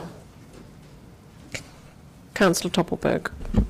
Thank you. A Couple of questions. Um, firstly, policy provision 1.3, which says the amenity and appearance, the, uh, the food vendors must have a vehicle whose presentation contributes to the character and energy of the area. Um, who adjudicates whether that does or doesn't, and particularly in the event of a complaint where somebody feels that it doesn't, whose decision is that? Is that the officer, the ranger? Do we go to consultation? Does it come to the chamber? Who actually decides whether it does or doesn't? Through you, Mayor Cole, uh, the coordinator uh, of health services is here, who assesses these um, regularly. So I might hand to her to advise on how applications are dealt with. Um, It's more specifically complaints. If somebody says, I don't like the look of that vehicle, it looks unkept, for example, and I don't think it adds to the character of the area and it contravenes the policy, what's the, what's the procedure from there? Uh, yeah, through you, Mayor Cole. Uh, so upon application, we do receive pictures, so that um, of the vendors or and the vans. Um, so we would make that assessment or judgment at the time of application. Uh, in terms of reviewing that, if it didn't fit within the presentation, that would be at an officer's level discretion. So that would go through administration uh, and yeah, the assessing officer, and come through me as coordinator. Cool. Um, and uh, had another couple of questions. So in terms of um, noise in particular, so uh, there's a variety of views about what is appropriate noise in, uh, within a reserve, and that can be at different times of day, different times of year, etc. Um, the what are the reg, uh, what are the regs in terms of uh, generators or otherwise, and whether is there any uh, mechanism by which we can either restrict the level of noise or the hours of operation? Because my understanding from people who have had issue with it relates to uh, the, both the, the, the volume itself and also the, the frequency and the infrequency of it starting up and uh, and and disappearing when it, when that becomes an issue? Uh, yes, through you, Mayor Cole. Um, the Environmental Protection Noise Regulation sets out assigned levels. So, uh, if the complaint was um, investigated, we would go through the process of conducting an assessment using a sound level monitoring device, um, and we'd be assessing that against the regulation. So that would take into consideration the what's called the modulation um, or the the um, kick in, kick out of a generator, uh, if that was within the sound that is measured. Um, so if, if it got to the point of um, taking those sound level measurements in the investigation, we have set assigned levels um, within the noise regulations. Um, and do thank you for that. In terms of uh, food standards or uh, health, do we have the same rights of entry and access to mobile vendors as we do to permanent premises for inspection? Uh, yes, through Mayor Cole, we would be able to inspect them at, at any time without notice. Thank you. And in terms of consultation, uh, I understand, I I see what, what's proposed, and it talks about um, proposed that we will be going to uh, landowners and occupiers within proximity. Is that how are we defining proximity? Is that immediately adjoining reserves? Is it within a radius model? What, what's actually proximate to the reserve or to the trading zone? Yes, through you, Mayor Cole, it would be adjoining or adjacent to the reserves. Um, yeah. Okay, You're still going, Councillor Topelberg, are you? No, I'm done. Thank you. No? Okay. Councillor Murphy? Sorry, just on that um, consultation topic, is there any plans to actually consult the users of the parks themselves? Do you know from the city's view? Um, so we haven't actively gone out to do that as yet. Um, we have put within the report some just incidental feedback we received from um, people using the vendors uh, when we were conducting inspections or reviewing their their use of the reserves, um, and that incidental feedback suggested that they were you know, supportive of the of the vendors, uh, but obviously that is quite limited scope. Um, so we could incorporate something like that if that's what council would be looking to do. Like. It's a good question because it will be going out to advertising, but whether we could actually have signage at the parks where the food vendors are operating, that would be worth considering. Um, can I just ask, just following up on the issue of the um, generators, so clause one talks about amenity and appearance. Do you think it could be considered to add a clause, say 1.5, that talked about minimising um, generator noise um, through. I don't know. There's various ways to do it, isn't there? Um, yeah, can, is that something that we could explore? Do you think? Do you, are you sort of saying that as long as it's within assigned levels, it's within assigned levels and it's not an issue, or do you think that we could actually um, sort of uh, state in the policy that measures to reduce impacts of noise through generator use, etc., would be, um, you know, rather than mandated but encouraged, and some suggestions about how that could happen.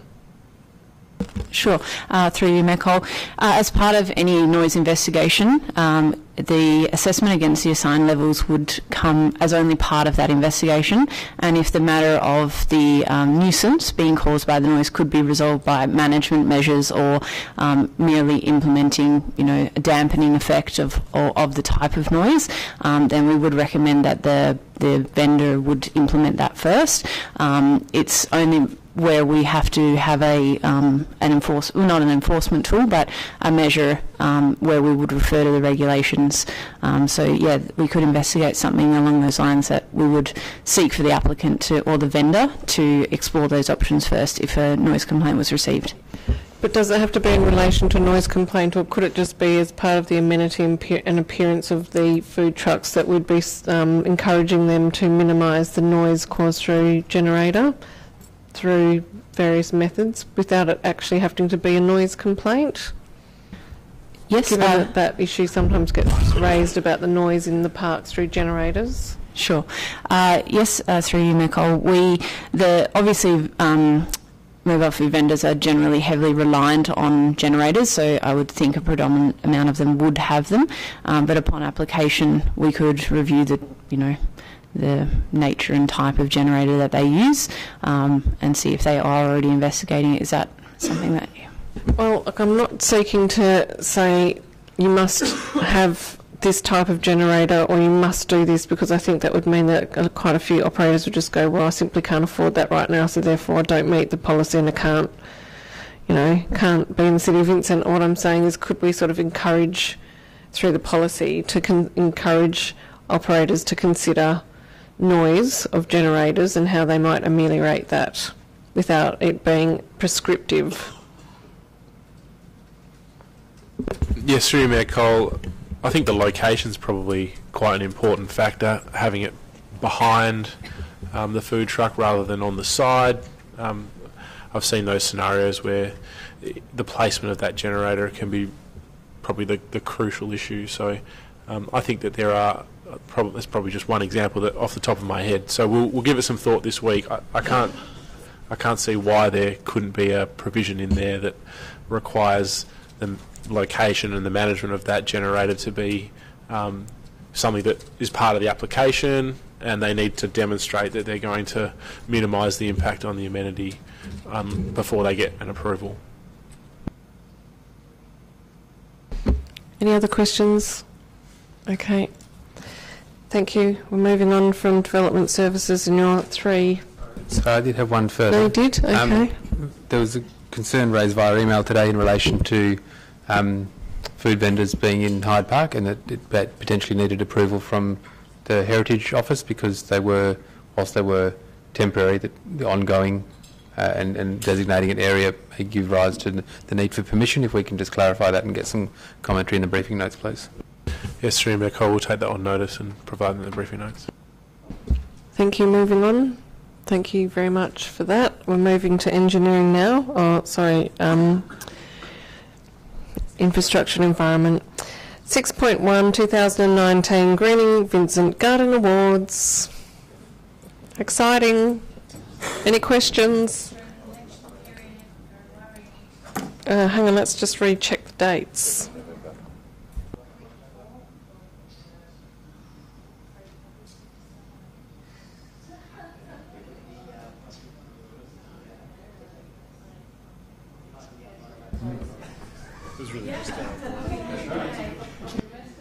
Um, so the the judging does take um, does occur during the election period, but it is really quite limited to the gardens that you're visiting, and no one will be allowed to electioneer. um, but the actual night is on is in November post um, election period. About campaign T-shirts, Mayor. Yeah, I'll just have to hand you over to the CEO. Just to- raising some and under the new concerns. election period policy, he can advise. um, are there any questions? And also, are there any? Is there anyone who's keen? Yes. Bro- I just lost it. Um, no, as much as I would love to do it again, I would like to keep it open to other council members. Highly recommend it. Um, I had just have a question about the best kept verge category. I recall that last year we discussed having just uh, approved our new verge policy about having a category that included something about around verge decorations or tree houses or well my question is does that yeah is that included in best kept verge could we reword that and Most innovative verge. Yes. Uh, well, I guess the first question is that is that what we're looking for in a best kept verge, um, and do we have any criteria included in that that includes uh, you know a very creative treehouse, etc., um, and also whether our criteria might include positive or negative points for having a car bay on your verge. Yes, because if it was, you know, nicely um, brick paved with a car, it could be kept well, but it would not be at all what we're thinking about. Yeah, it concerns me that that might not actually align with just- our um, Even best verge would be better than best kept verge, I think. Yeah. Um, I, I guess perhaps a little bit of thought before then CEO is suggesting the best Vincent verge. Yes, I love it. Sounds Yep. great. We'll, ha- we'll go with that. Um, but just a bit of thought as an about amendment put by about Councillor that- Castle? that criteria um, in relation to both sustainability and parking.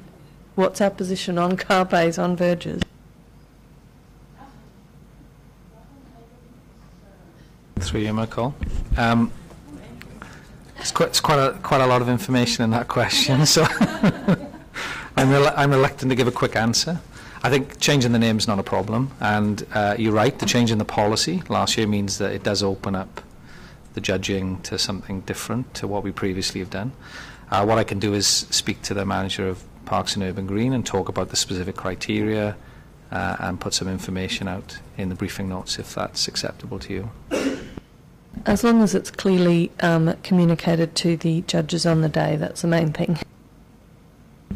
Through you, Mayor Cole, we uh, will endeavour to give full training to the selected judges. But we also have new provisions in our verge policy about how much hard paving you can have on the verge. It was 50%. Did we leave it at that or did we ch- make it lower? Uh, through Mayor Cole. I'll need to check that. Um, any volunteers? I'll volunteer. Good on you, Councillor Harley. Although, I'll wear all of your t-shirts. Um, Councillor Harley, are you sure you wish to volunteer? It's because this, the actual, um, the, wait a minute, yeah, the awards night is post-election. Yes. And Yes, okay. Thank you. Free meal as a private citizen. Okay, we have one volunteer. Think about it then over the week, because next week we'll be live and we'll be picking people, so, yep. Any other questions about the event itself? Um, I did have a question. Last year, there was a bit of a change where we got the cheque directly from the Water Corporation and the Claisebrook Catchment Group for a long time has received the cheque and handed the cheque to the City of Vincent. Um, so I just want to make sure that we do the right thing with that relationship and if we, there is a change, we need to talk with Claisebrook um, Catchment Group, but it has been a long-standing um, relationship and involvement in the awards. So if there is a change, I'd like to know why um, why we wouldn't include Claisebrook Catchment Group. Is it because the Water Corp, for example, is saying this is our prize money that we would like acknowledged and it's coming directly to the City of Vincent for sponsorship purposes as opposed to sort of going through a community group? Like, for example, that you know, if the Water Corp have said we want to have branding and this is our sponsorship directly, then I think we just need to understand why that change has been made. Yeah, through you, Mayor Cole. My understanding was the cheque always was, you know, um, paid to the City of Vincent, and it came through the group. But I'll uh, find out what's going to happen this year in terms of the planning of that, and um, we'll endeavour to include the Claisebrook group because I know it's important. It's a long relationship. And if you could also just get some advice from Water Corp if they're happy for that to continue as well. Thank you. Councillor Topelberg. Just in terms of the voucher pack, um, how, if local businesses want to be included in that, what's the avenue for them to uh, find out that they could be included in that if they're wanting to promote themselves in that in that way? Yeah, through you, Mayor Cole. Um, that's dealt with through our marketing team, so I'll find out that information and put it in the briefing notes. It's a very good suggestion because I think over the last 12 months or two years we've had a lot of indoor plant shops pop up in the city of Vincent, like, you know, a good handful. So it is an opportunity to go out to some of those new businesses and see if they'd like to be involved. And through you, Michael, I may say one thing. Last year there was cash prizes, and uh, that was a, um, a request from council. We did it through local businesses, so we've done that. So I'll put some more information in the notes. Any other questions? Okay.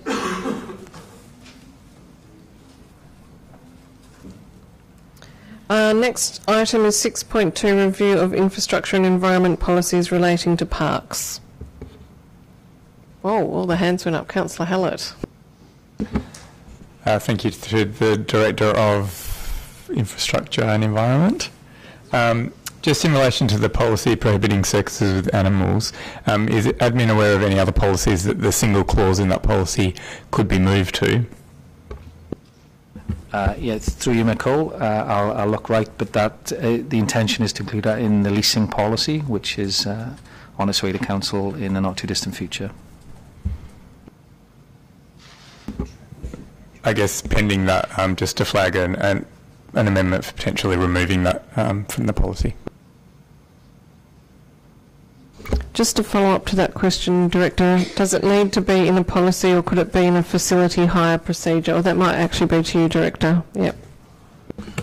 Uh, through Mayor Cole, that, that is actually the intention. Uh, community partnerships are actually reviewing all of their policies at the moment, and it's the policy that rate, relates to a hire uh, and conditions for hire for our reserves. So that's where we're looking to um, include this wording. Thank you. Um, Councillor Loden? A question on process. Would we have the ability to approve the repeal of a policy subject to it being included in in uh, a, a, another policy or procedure, and so this would basically stay in place until that was done? Uh, through you, Mayor Cole, I'm sure that we could uh, draft something that would achieve that outcome. I think the recommendation would need to clearly state that, though. It would need to say that repeals the following policies, blah, blah, blah, subject to blah, blah, blah. So I think that um, if administration can, I know it's um, wordsmithing. if administration can consider that, otherwise it would have to come up as an amendment.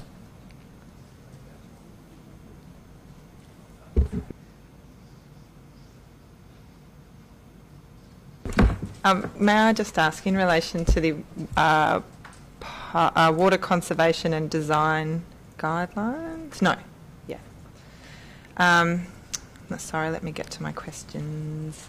Um, in, oh, sorry, in relation to natural vegetation, um, I just wondered around um, whether the city has a position around the use of glyphosate. I always say that incorrectly, so my apologies. Um, the uh, that would potentially provide a policy position in relation to the use or discouraged use or etc. in relation to that product. Yeah, through Nicole, there, you'll notice there are some changes in the policy that remove the use of some of those um, uh, chemicals. Uh, but what I can do is uh, be a bit clearer about that in the briefing notes, just to bring that, draw that out, so it's clearer for elected members. And also, just in relation to whether the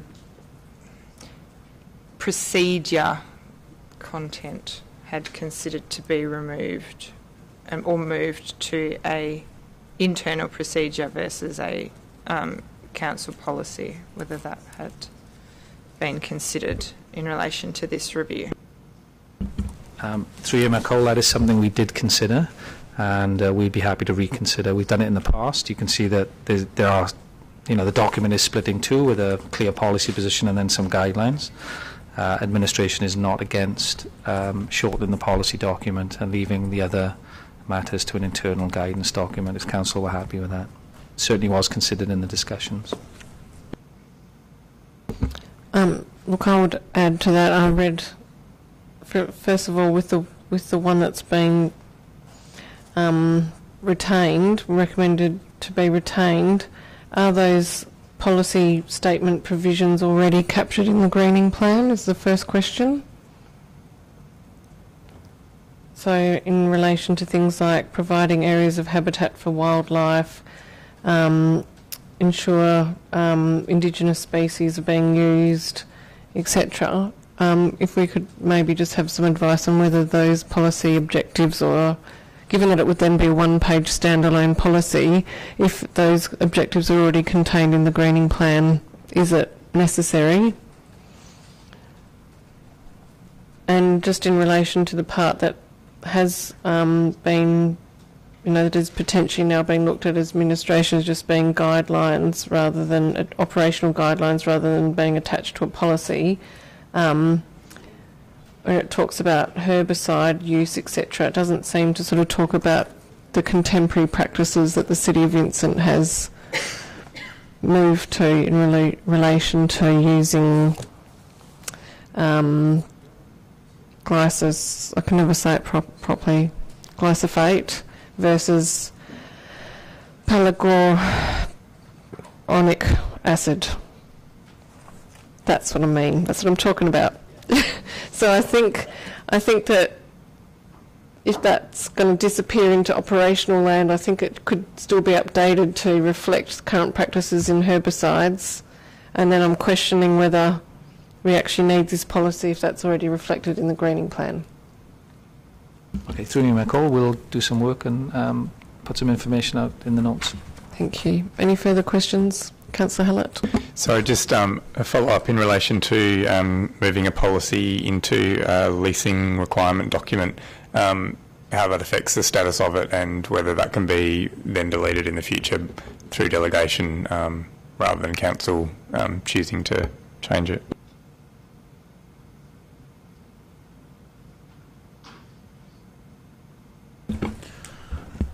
Uh, through you, Mayor Cole, I think it's something we will look at in terms of uh, administration is really clear around um, the intent to continue the prohibition um, of circuses and we're comfortable that that is best placed in an alternate policy which is currently under review. We'll just need to look at, um, I guess, the chronology of that happening.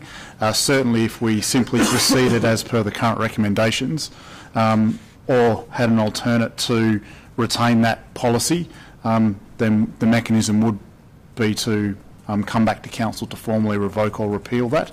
Um, so we'll look at that a little bit closer and what our options are, understanding what administration and council's likely intent is, and report that in the briefing notes, and then possibly change our approach for next week. Any further questions? Okay.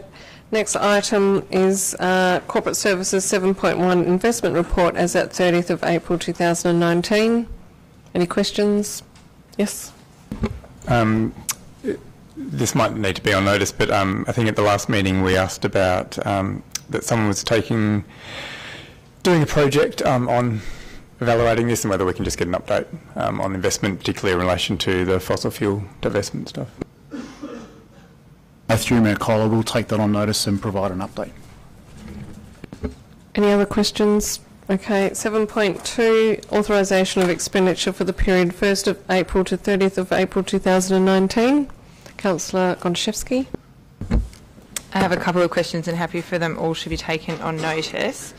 Um, and I think that, I'm, I'm sorry, I think they would cro- cross a number of directorates.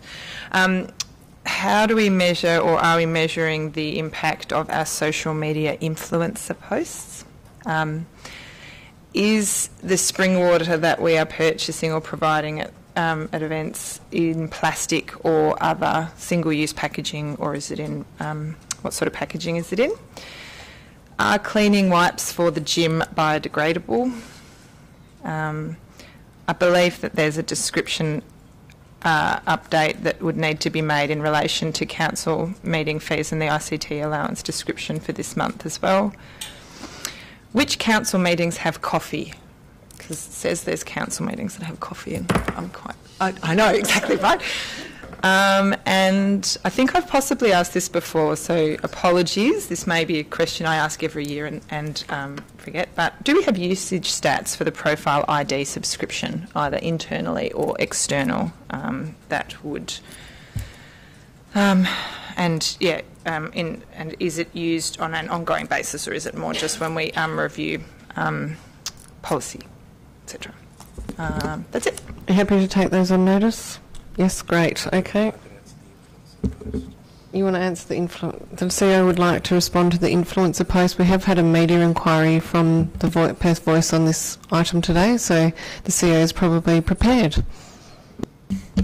Through you, Cole, uh, yes, um, we, we can track uh, how useful or what sort of reach we got through uh, influencer posts um, how many people have seen it, liked it, or commented on it, and depending on the campaign, um, we can see these are translated into analytics within our other- digital channels, such as a boost in website visitors or the number of people who have visited a particular website, uh, web page. So, on a particular initiative or campaign, we can do reporting and get the metrics about what reach we think that um, provided throughout our other electronic forms of communication, and we can make that available. Um, but essentially, so the, the primary means is to use the social media influencers to direct um, uh, customers, clients, residents, ratepayers, etc., towards our own digital channels. Yep. Okay. Thank you. And through you, Mayor Cole, just in relation to the forecast ID, just to just to clarify, um, so it is used internally um, whenever we're reviewing, or mainly by the uh, policy and place team. Uh, I'm sure there are other sections of the city that use it as well um, to determine what the future growth is. I, I know finance use it as well when they're uh, preparing the budget to understand um, what the expected growth is, particularly for the LTFP. Um, uh, projected growth in rates revenue, for instance, we do that every year as well as um, for the longer term. Um, so that's one of the bases and one of the um, piece of information that feeds in. Um, we also do it as part of all the strategies we develop, so the POS strategy, what the likely growth in population is going to be, etc. Um, and it's also available for businesses in particular when they're doing research about opening a new business or expanding their business to understand um, what the likely growth is going to be in the market for their their business. Um, I'm not sure if we have the usage stats, but we'll um, see if we can get those and provide those through. Any further questions? Okay, thank you. Um, next item is the late report financial statements as at 30th of April 2019. Any questions?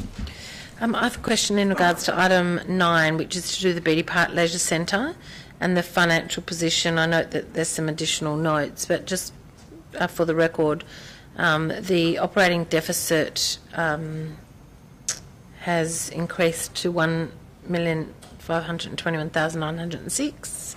Um, compared to the budgeted amount of 1,450,905. And I'm just wanting to know what activities are happening um, in around that operating deficit to reduce it. Uh, through you, Mayor Cole. Uh, yes, uh, there, there's a number of reasons for the current budget position um, at Beatty Park. Um, one of the main challenges we did have um, in the lead up to Christmas and through the, the summer months, the school holiday period, was um, the fact that summer never really hit. It was a long summer, um, but there were far less um, days over 38 degrees, and that's where we really do see an increase, particularly in swim entries and, and casual swim. Um, what the management team have been doing since um, around about January is managing um, our expenditure accordingly. Uh, revenue, for the most part, has um, been relatively close to budget in terms of swim school and memberships. But uh, what we do do in the second six months of every financial year at Beatty Park is um, just manage our expenditure accordingly, and that's something that that you will note, and I can comment on further in the briefing notes, is that since January um, we have kept our expenditure generally lower um, than what was budgeted, um, in recognition that revenue um, is indeed lower than budgeted. So it's certainly something that we do monitor quite closely month by month.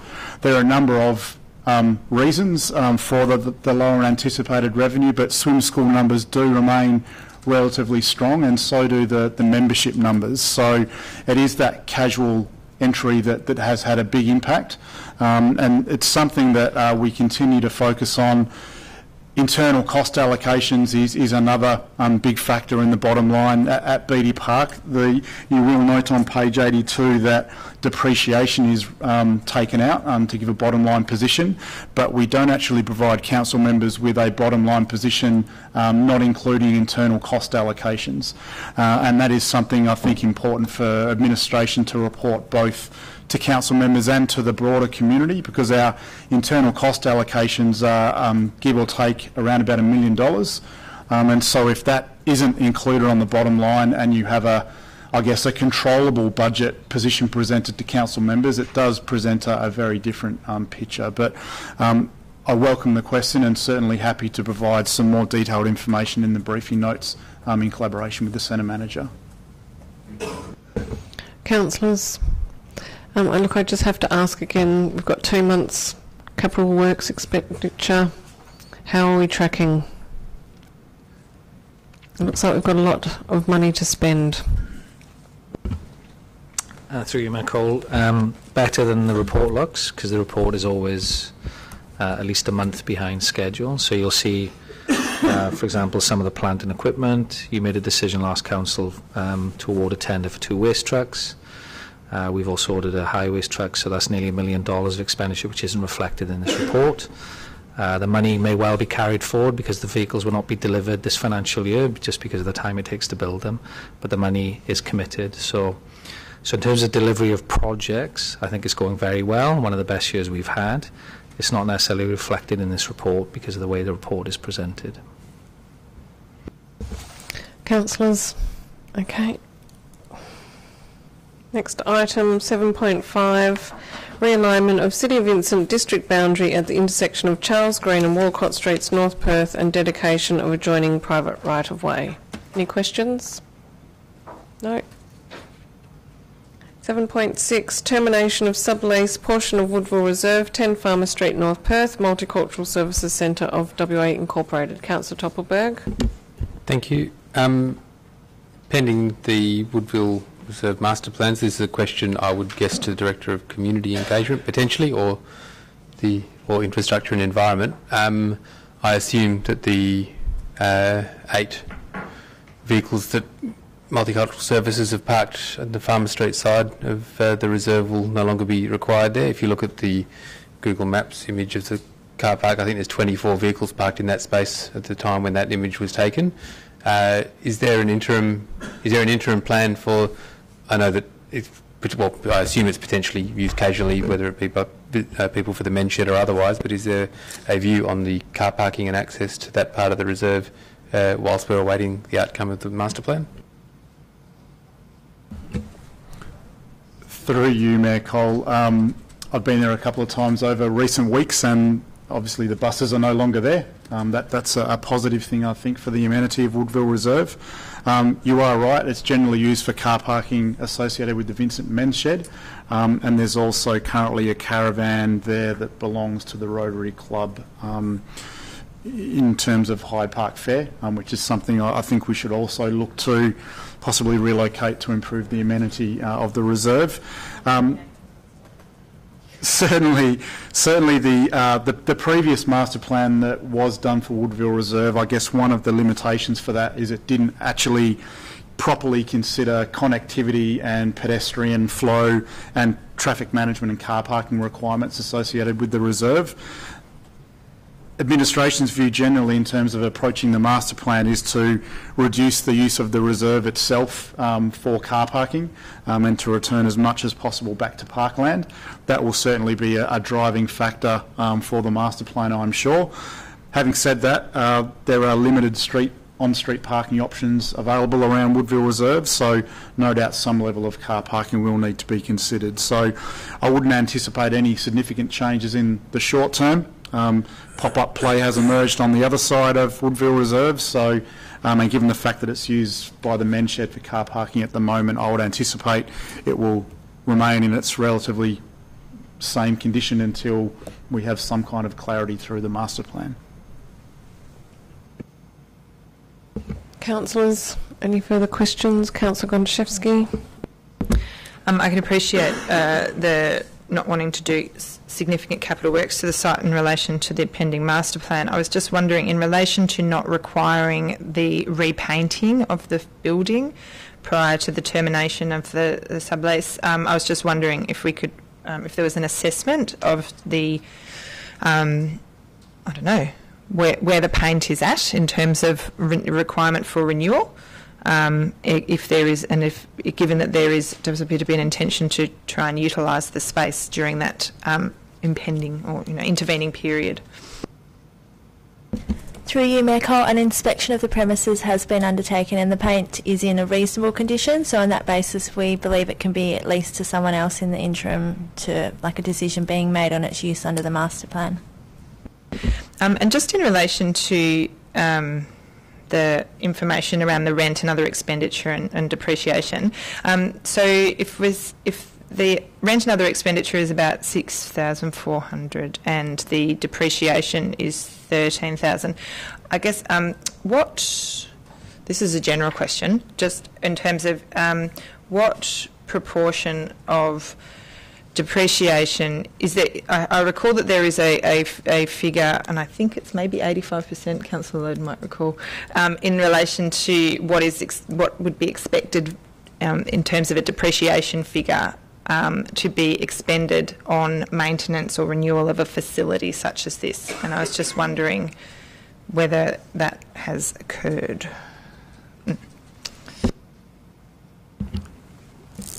Through you, Mayor Um, I'll take that question on notice if that's okay. Any further questions? The repainting one was a good question. That was what I was keen to know. Um, can I ask, um, manager of governance, when was it last painted? It's I know that it's in reasonable condition, but is it? If they sort of said when they did actually last paint, can we can take it on notice Yeah, if you like. um, through you, Mayor Cole, I have to take that question on notice. Thank you.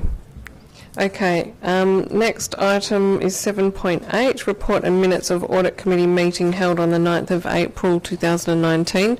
This is one of the items that does have confidential legal advice attached, which we can discuss in confidential session if wished. Any questions?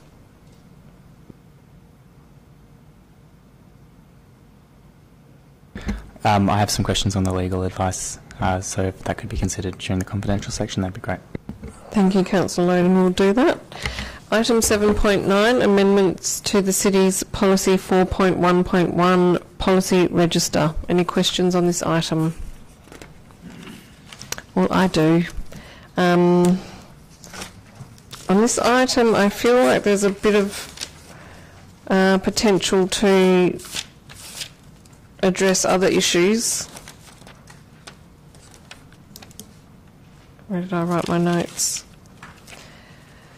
Um, what, just wanted to seek some advice. Um, one of the issues that's been coming up a lot recently is development of policy and seeking council input into the development of those um, starting principles and objectives, and whether the um, issue of um, that needs to be included in this policy. And also, I keep going on about a policy structure and whether this is potentially the place for that to um, to live. I feel that uh, you know these are issues that have been arising and have been discussed, and just seeking some advice about whether this policy actually really goes far enough in describing the contemporary approach to policy development at the City of Vincent and the need for a um, policy hierarchy. Uh, through you, Mayor Cole, just on the first uh, point about council involvement in policies, uh, part of the intent of updating this policy is to uh, start a much more rigorous process of reviewing and updating a large number of uh, outdated policies, and we can bring um, that list of the full list of policies and where our initial assessment is at um, to council um, for discussion. And we have asked all teams to uh, review the policies they're responsible for and start bringing those to council on a much more regular basis. As a general rule, once a policy gets over five years old, or in some cases 10 or 15 or 20 years old, uh, it's just a matter of time where it's going to cause us problems because um, we are essentially operating under outdated policies with um, bad cross-referencing against other uh, regulations or rules or policies that may have um, come online since those policies were last reviewed. Um, we can certainly add an attachment or bring that to council in terms of the policy hierarchy and how the uh, system of local laws, um, strategies, policies, and operational guidance um, fits into what is currently a large and unwieldy um, list of uh, old policies which have been um, added to over time for good reasons at the time, but now there's a complete disconnect between a single policy and uh, the, the full suite. So there's not much.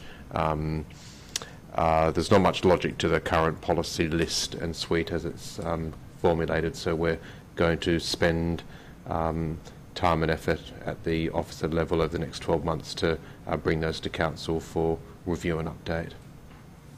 I guess what I'm asking is, does this policy provide enough guidance to administration on on council policy development, and by adding things like a policy hierarchy and on having further comment on policy development, that that may then in help inform that review of the long list of policies that need to be reviewed. So, for example, the current the policy statement says new policies will be presented to council for adoption, subject to the provision of local public notice for a period of at least 21 days. Does that deal with the issue of the way in which council is seeking to set the objectives of policy before a policy is simply presented in its full draft format to council for adoption? I think that's something I'm you know, this policy could actually inform that process better, could inform the policy structure better, so that when when you're going through that review policy, you've actually got some guidance here that does actually mean that policy development is happening in the way that council would like to see that happen, and that staff have an understanding of what the different hierarchy of policies are, and therefore what the requirements for each of those documents are depending on where they sit in the hierarchy. Uh, through you, Mayor Cole, uh, yes, we have got the benefit now of starting this uh, review program with a very recent strategic community plan, which um, has the six priorities plus a lot of actions underneath that, which can help uh, inform where council's priorities are. If we do circulate that full list with some summary commentary to uh, council members, um, that might help us identify um, particular areas of interest uh, in terms of the current policy suite, uh, as well as we can provide more guidance um, in the policy on um, the policy making process. Um, is that something that could be done by next Tuesday? Because I guess in terms of having a hierarchy of policy, then you're saying like if it's a strategy, then this sort of, you know, like it, it could actually be. This is very very brief, and it could actually be a lot more um, it could actually provide a lot more guidance to staff in terms of strategy development, policy development, and how to approach the different tiers under a hierarchy. But this, in its current format, is very simple. Uh, through you, Mayor Cole, if we don't don't provide sufficient information in response to those questions, then uh, we could certainly um, withdraw the item for consideration at a uh, council meeting later in the year. Councillor Gontaszewski. Um, I note that the policy that's uh, re- recommended to be repealed um, talks about that new policy development shall incorporate consultation with elected members. Um, and uh, I wanted to check in relation to um, the city's consultation slash engagement policy slash charter, um, whether that sort of would be referenced there, or whether it would be, um, as Mayor Cole has said, appropriate to include that direction within this policy.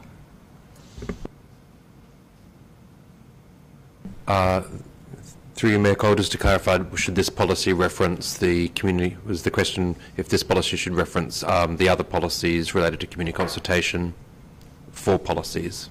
Um, my question is whether the consultation policy that is being reviewed and going to be developed will that include reference to consultation and engagement with elected members or is this the appropriate policy for consultation with elected members in relation to policy development to be um, recorded because my understanding is that it is recommended that we repeal the policy manual adoption and review policy, and that specifically says that new policy development shall incorporate consultation with elected members. And the policy statement in the proposed policy register policy talks about the development of policies in accordance with the following, and a number of dot points are listed there, but it would appear from that that the earliest point that council is likely to be engaged if decision making is undertaken in accordance with this policy would be at the point at which a policy was presented for adoption. And so, um, without you know showing my hand potentially for next week, um, that's not the point at which I believe that engagement with elected members should occur. So I'll either flag significant amendment in that regard or I'd appreciate your guidance around what might occur in the consultation policy. Am I not being clear? Uh, the community consultation policy, uh, I don't think that just refers to the consultation we have with external members of the community, and because that's the council policy, it's endorsed by council. It doesn't refer to council um, consulting itself about that um, policy, but we can certainly uh, provide more language in uh, the draft policy about council's role in um, overseeing um, policy development and uh, what we do want to achieve is having an ongoing regular program because we've got dozens and dozens of policies uh, to have um, clear council oversight of a annual program of policy review where we prioritise out of the well we've got um, dozens of non-planning policies. We've got about 40 uh, planning policies as well. Uh, we want to have a monthly agenda with council to uh, move through a uh, prioritised systemic um, policy review program to um, make sure we can get some of these policies uh, into more contemporary format. I can appreciate that. Um, I think that this policy, the way that this policy is developed, perhaps would be a good um, demonstration project potentially for how that other policy review and development process could go. Um, I would. I'm not sure this is ready, but I will see what comes in the briefing notes. Councillors, any further questions? Okay. Late report 7.10 adoption of council election period policy. Questions? Councillor Topelberg. Thank you. Um, just can flag a couple of amendments, so I'll go through them just so that they're not surprises next week. So page one, uh, purpose, uh, second paragraph, advantages or disadvantages of a particular candidate. I think that that's important, that um, particularly where staff may have a view on someone's candidacy or otherwise, that they don't, the resources aren't used to dis- potentially disadvantage a candidate. Uh, section 2, part A, in this sentence I would propose to appear a couple of times, but would uh, seek to amend to say that the Council of the City of Vincent making major decisions and insert the words that depart from its stated strategic direction. Um, I had spoken to the CEO about it, but that same sentence would uh, preferably appear also uh, under publicity campaigns 5.9.3, which is on page 6. So during the election period, major or new publicity uh, campaigns that depart from its stated strategic direction, other than for the purpose of conducting and promoting the election, would be avoided where possible.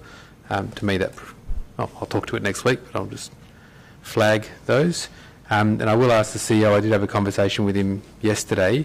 Uh, I have some concern in relation to the uh, our role in the Local Government Act, and particularly in relation to the contract of employment of the Chief Executive Officer, uh, that the policy seeks to make it impossible to terminate a CEO, even though that may be a provision under the contract. And it effectively says that the only thing that would be possible is to suspend them and wait for the incoming council to make a decision. Uh, without going into the specifics of our existing CEO's contract, I, where a termination clause exists, I guess I'd like to seek some advice about the ability of a policy to uh, potentially limit what exists uh, under a contract and also how that relates to our role under the Local Government Act in uh, administering the contract and the CEO's employment. I might just ask the Mayor if she wants me to um, answer that question because it relates directly to, well, it specifically doesn't relate directly to your contract. just Okay, as, as, as a principle, hypothetically? as a principle where a perhaps we could termination. rephrase it to say that if a CEO was found to engage in serious misconduct where there was clear evidence, It's, what it's would the where, where a scenario- termination, where a contract exists, and there are ter- it is, is a termination clause that exists that provides guidance to the uh, the as to what would contradict grounds for termination. Uh, is it? Are we able to have a policy that says that, ev notwithstanding the existence of that contract, this policy may actually prevent you from enacting what is in that contract? Uh, through you, Cole, uh, my response to that um, in relation to this policy and that specific question is a general response for the entire uh, draft policy in that uh, this policy um, is only a guidance document. It um, doesn't override any other uh, legal obligation or responsibility that uh, council has. Um, the only, I guess, the the point of the policy uh, would be that if council was going to make a decision which fits the criteria specified here for major decisions or significant expenditure or something to do with the um, CEO's employment, um, that council would need to be mindful uh, of this policy and just be very clear about the reasons why it's making a decision uh, during that election period. And those reasons would probably relate to either urgency, uh, it's unavoidable, um, there's a legal obligation or requirement to make that, or um, there's another uh, extraordinary circumstance why why council has decided to um, make that decision during the election period, and as long as that's documented and understood, then um, that uh, promotes transparency and, and accountability. So the policy um, provides guidance to council and to administration in uh, con- conduct during the election period. Uh, it certainly doesn't say that council or administration shouldn't con- continue doing what it normally needs to do. It just needs to provide um, some reasons if it decides to bring a uh, matter um, for decision when otherwise um, it could be dealt with before or after that election period. Thank you for that. I, I will. I won't have it ready for now, but I just I will talk with you and perhaps externally as well with your uh, guidance. But the wording of it that says that 5.2 establishes that a CEO may not be appointed or dismissed. The appointed I have no issue with, but the dismissed, uh, where that specifically is allowable under a contract, I just think that that could be worded better to better reflect uh, the our role in terms of management of, of a CEO's employment contract. But I'll happily discuss that with you before next Tuesday. Uh, through you, Mayor Cole, um, that language may be better phrased as uh, should not as opposed to may not. Um, I'm not sure if that's a, a substantive difference from the council's perspective. Councillor Harley. Um, thank you, Councillor Topelberg. I had um, similar questions in regards to um, talking about hierarchy of policies, hierarchy of contract law, um, obviously the Act, and then where the policy fits into um, disallow. Um, so I think those questions kind of answer, partially answer. My questions relate to the accountability of the CEO in section 5.1.2, major policy decision, um, the um, E, decisions that in the CEO's opinion will have a significant impact on the City of Vincent. So my question is about how that opinion gets formed and what the accountability is for that opinion. And again, this um, question is not in relation to you um, specifically as a CEO. Um, so it's a general question um, about CEOs occasionally not being above uh, politics, but also sometimes getting it wrong.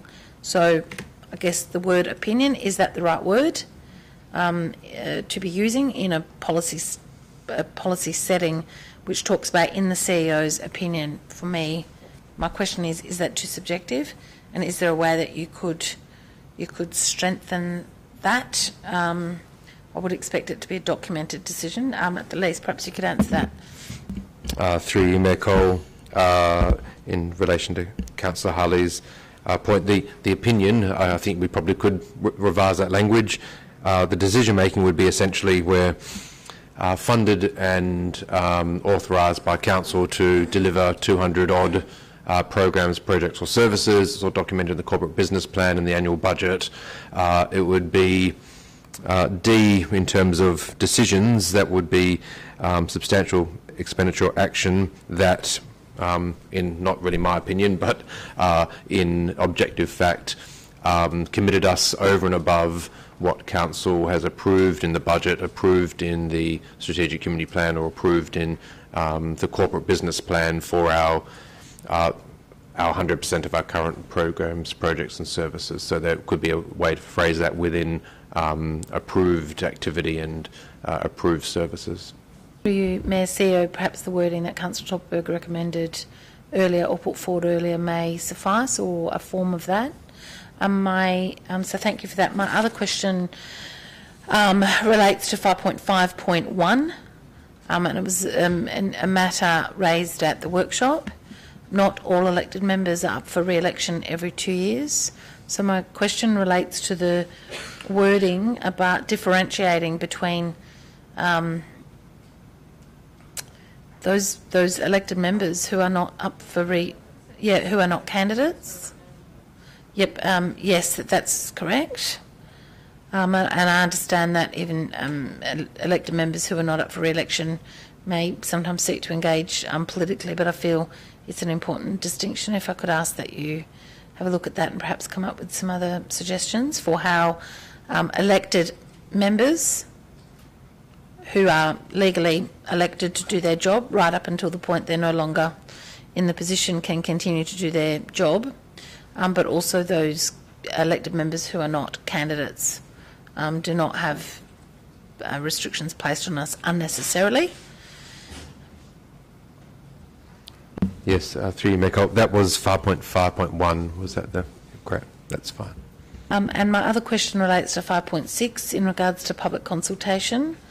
Um, and I raise concerns um, in regards to this part of it and in regards to the timing of when public consultation will not be undertaken during the election period. So just want to clarify for the public record, if a consultation period has commenced and 37 days prior to the election, that public consultation is still ongoing, will that public consultation be suspended for the 37 days of the election?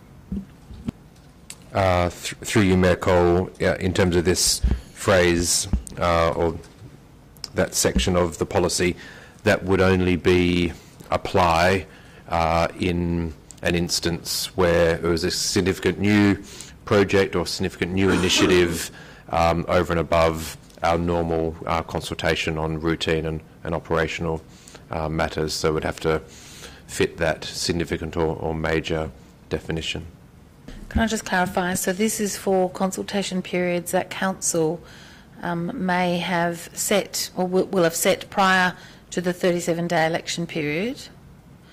So my question is, why would you propose to suspend that consultation when it's already been set at a council meeting prior to an election period of where there are no restrictions?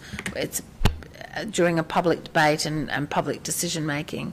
Why would you seek to restrict consultation during that period, as opposed to new, entering into new consultation?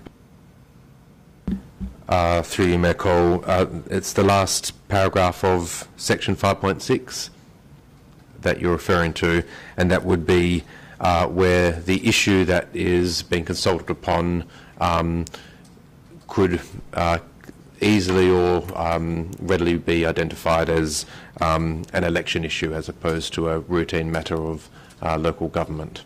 And, and the consultation would be over something that hadn't, um, a decision, a final decision hadn't been made on.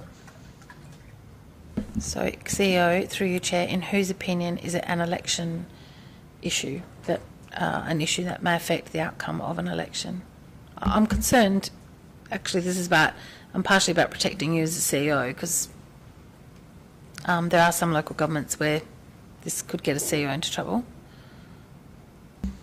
Uh, through you, So I still don't understand why you'd restrict consultation during the caretaker or the election period of 37 days, which has already been set in place by a council decision, filmed for all the world to see, and all our decisions um, on the record in regards to that proposal.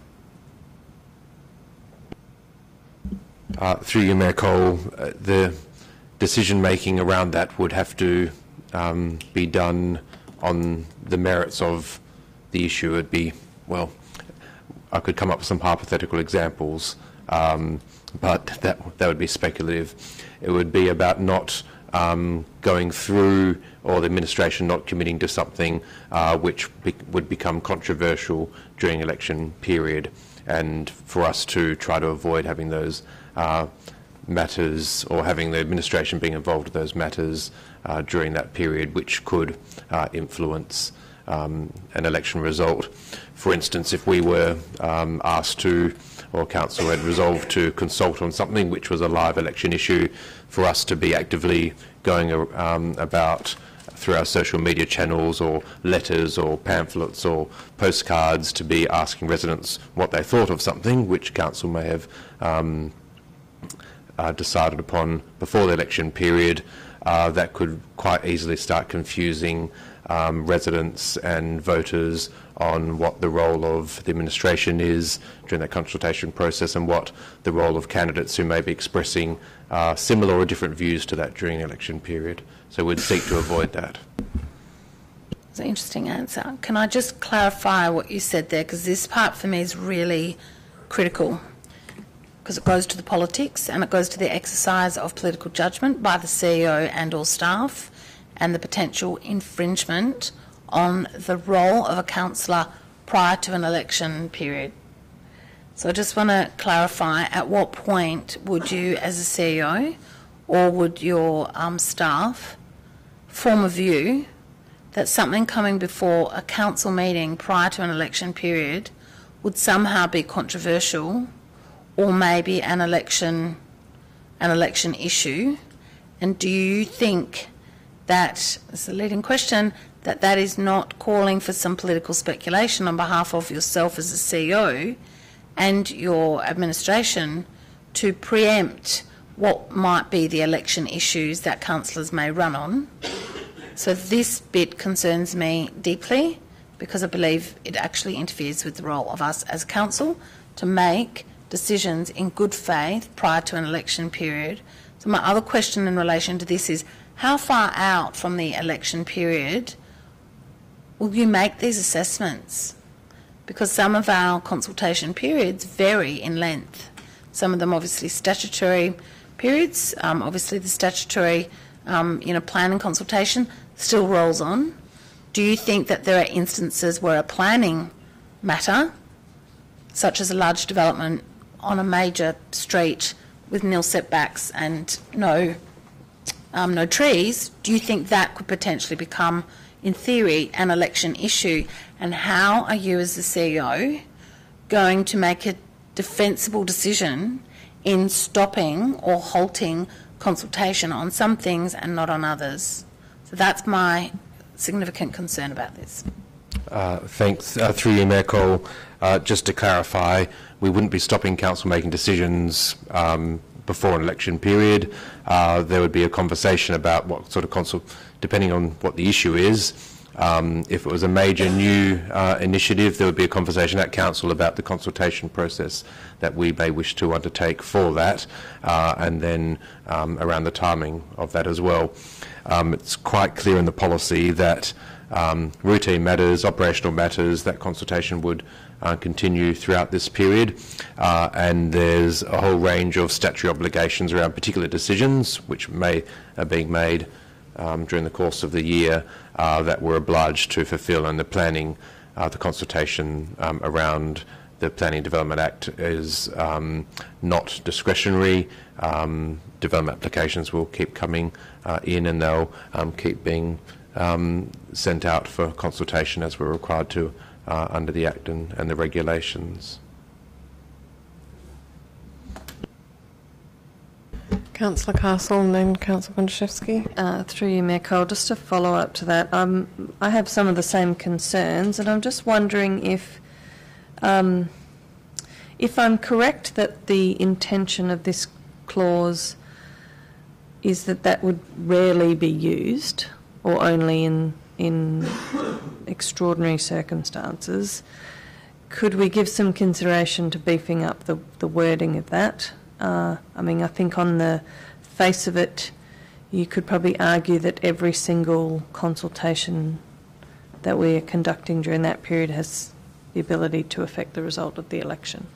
Um, so, if that is the intention of the clause, then perhaps we could look at some wording to add, you know, to significantly affect the result of an. Uh, that's off the top of my head. That might not be the right phrasing, um, but could, is that something we could consider before we make a decision next week? Um, just to make it very clear that really this is only going to happen in exceptional circumstances, if that's intended.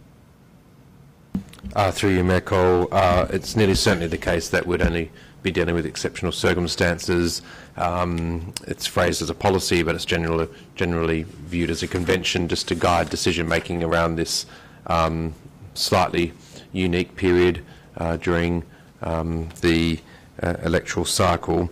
Um, the intent of the draft policy is to uh, help navigate some of those grey areas. It's, it'd be impossible to uh, predict what they are um, now, but when they arise, uh, it's important that staff throughout um, the city um, understand that decision making around major new contracts or um, eh, major new expenditure or appointments um, are referred um, up to me and then uh, they can be managed in accordance with uh, this policy.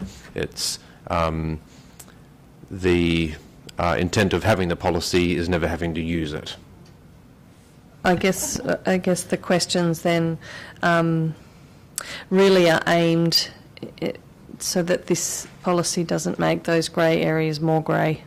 That's my concern is that you're opening yourself up to um, more discussion about what does satisfy these particular um, clauses.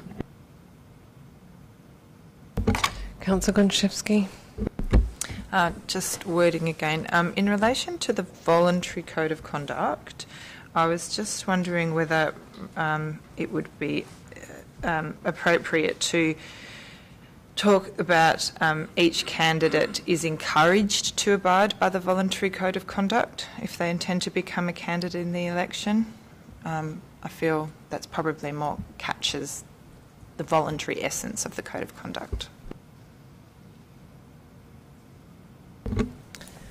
Um, thank you, Councillor Gontaszewski. Um, I just have a few questions, and I'm happy for you to take them on notice because there's a few.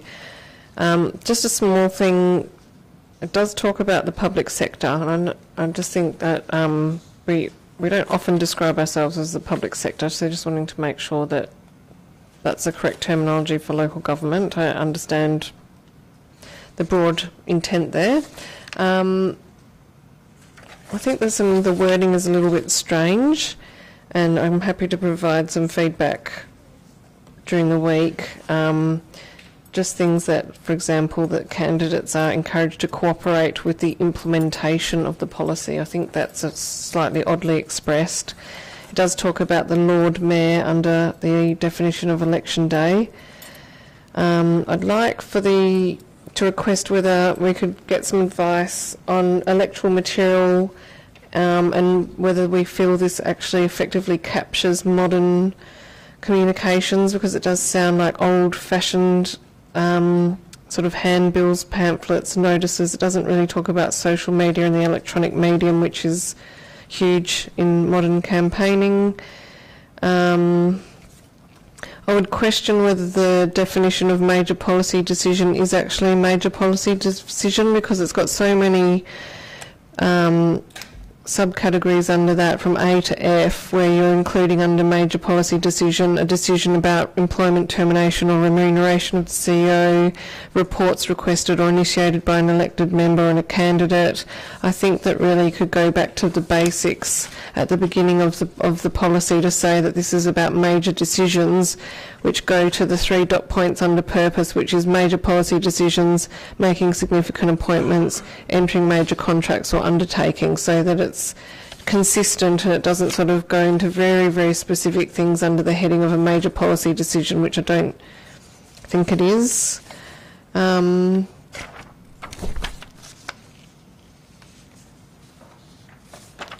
Also, just in terms of 5.5.1, going back to that where it says that candidates, um, elected members who are candidates, if that form of wording will or won't be added, um, restricted to names, contact details, titles, membership of special committees and other bodies. Um, again, I think that this wording just doesn't fit Vincent. Membership of special committees. I think we just need to say in our own language is that membership of, because the only committee we have is the audit committee, and then other bodies is that working working advisory groups. I think we just need to actually really be clear about what that is. And if a councillor has an existing brief bio on the website and they're not changing it for election purposes, does that need to be taken down? Like if everyone has their bio and it's on there and then it's like, well, you can't change it during a caretaker provision. I'm not quite sure because it's almost like we shouldn't cease to exist in our roles. I think it just needs to ensure that we're not electioneering. So there's a question about whether our existing brief bios, provided they're not tampered with during election period, can remain in place. And just a language thing again, under 5.6, it talks about perceived as intended or calculated to affect the result of an election. It's just starting. The language sounds a bit sinister. I just think it just really needs to be very clean language. Um, request for media advice 5.9.2. I think this also needs to be clear, similar to the earlier provisions around the fact that council members continue in their role that um, under 5.9.2, I would like some acknowledgement that the role of the Mayor under the Local Government Act continues in the role of the spokesperson. I think that should come in under 5.9.2. And um, just on language again, 5.9.3 talks about publicity campaigns. We never talk about publicity campaigns, we talk about marketing campaigns. Just so the language is consistent, so that I think it's important that we have consistent language with the language that we use, so that when staff and council members read this, we know what we're talking about.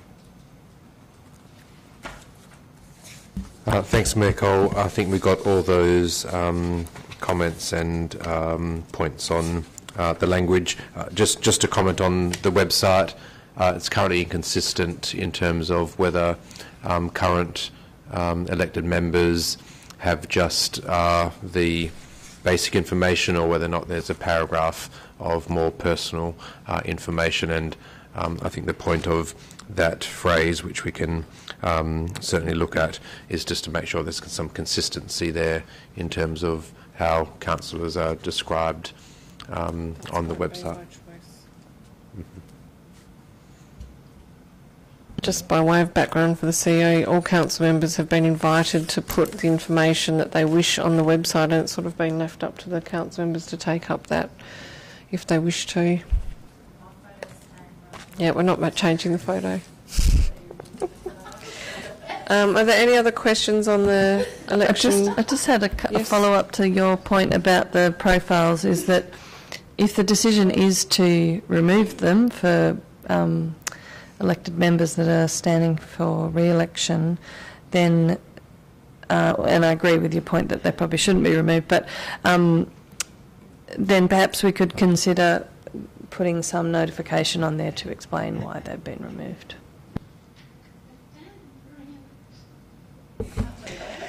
Councillor Topelberg.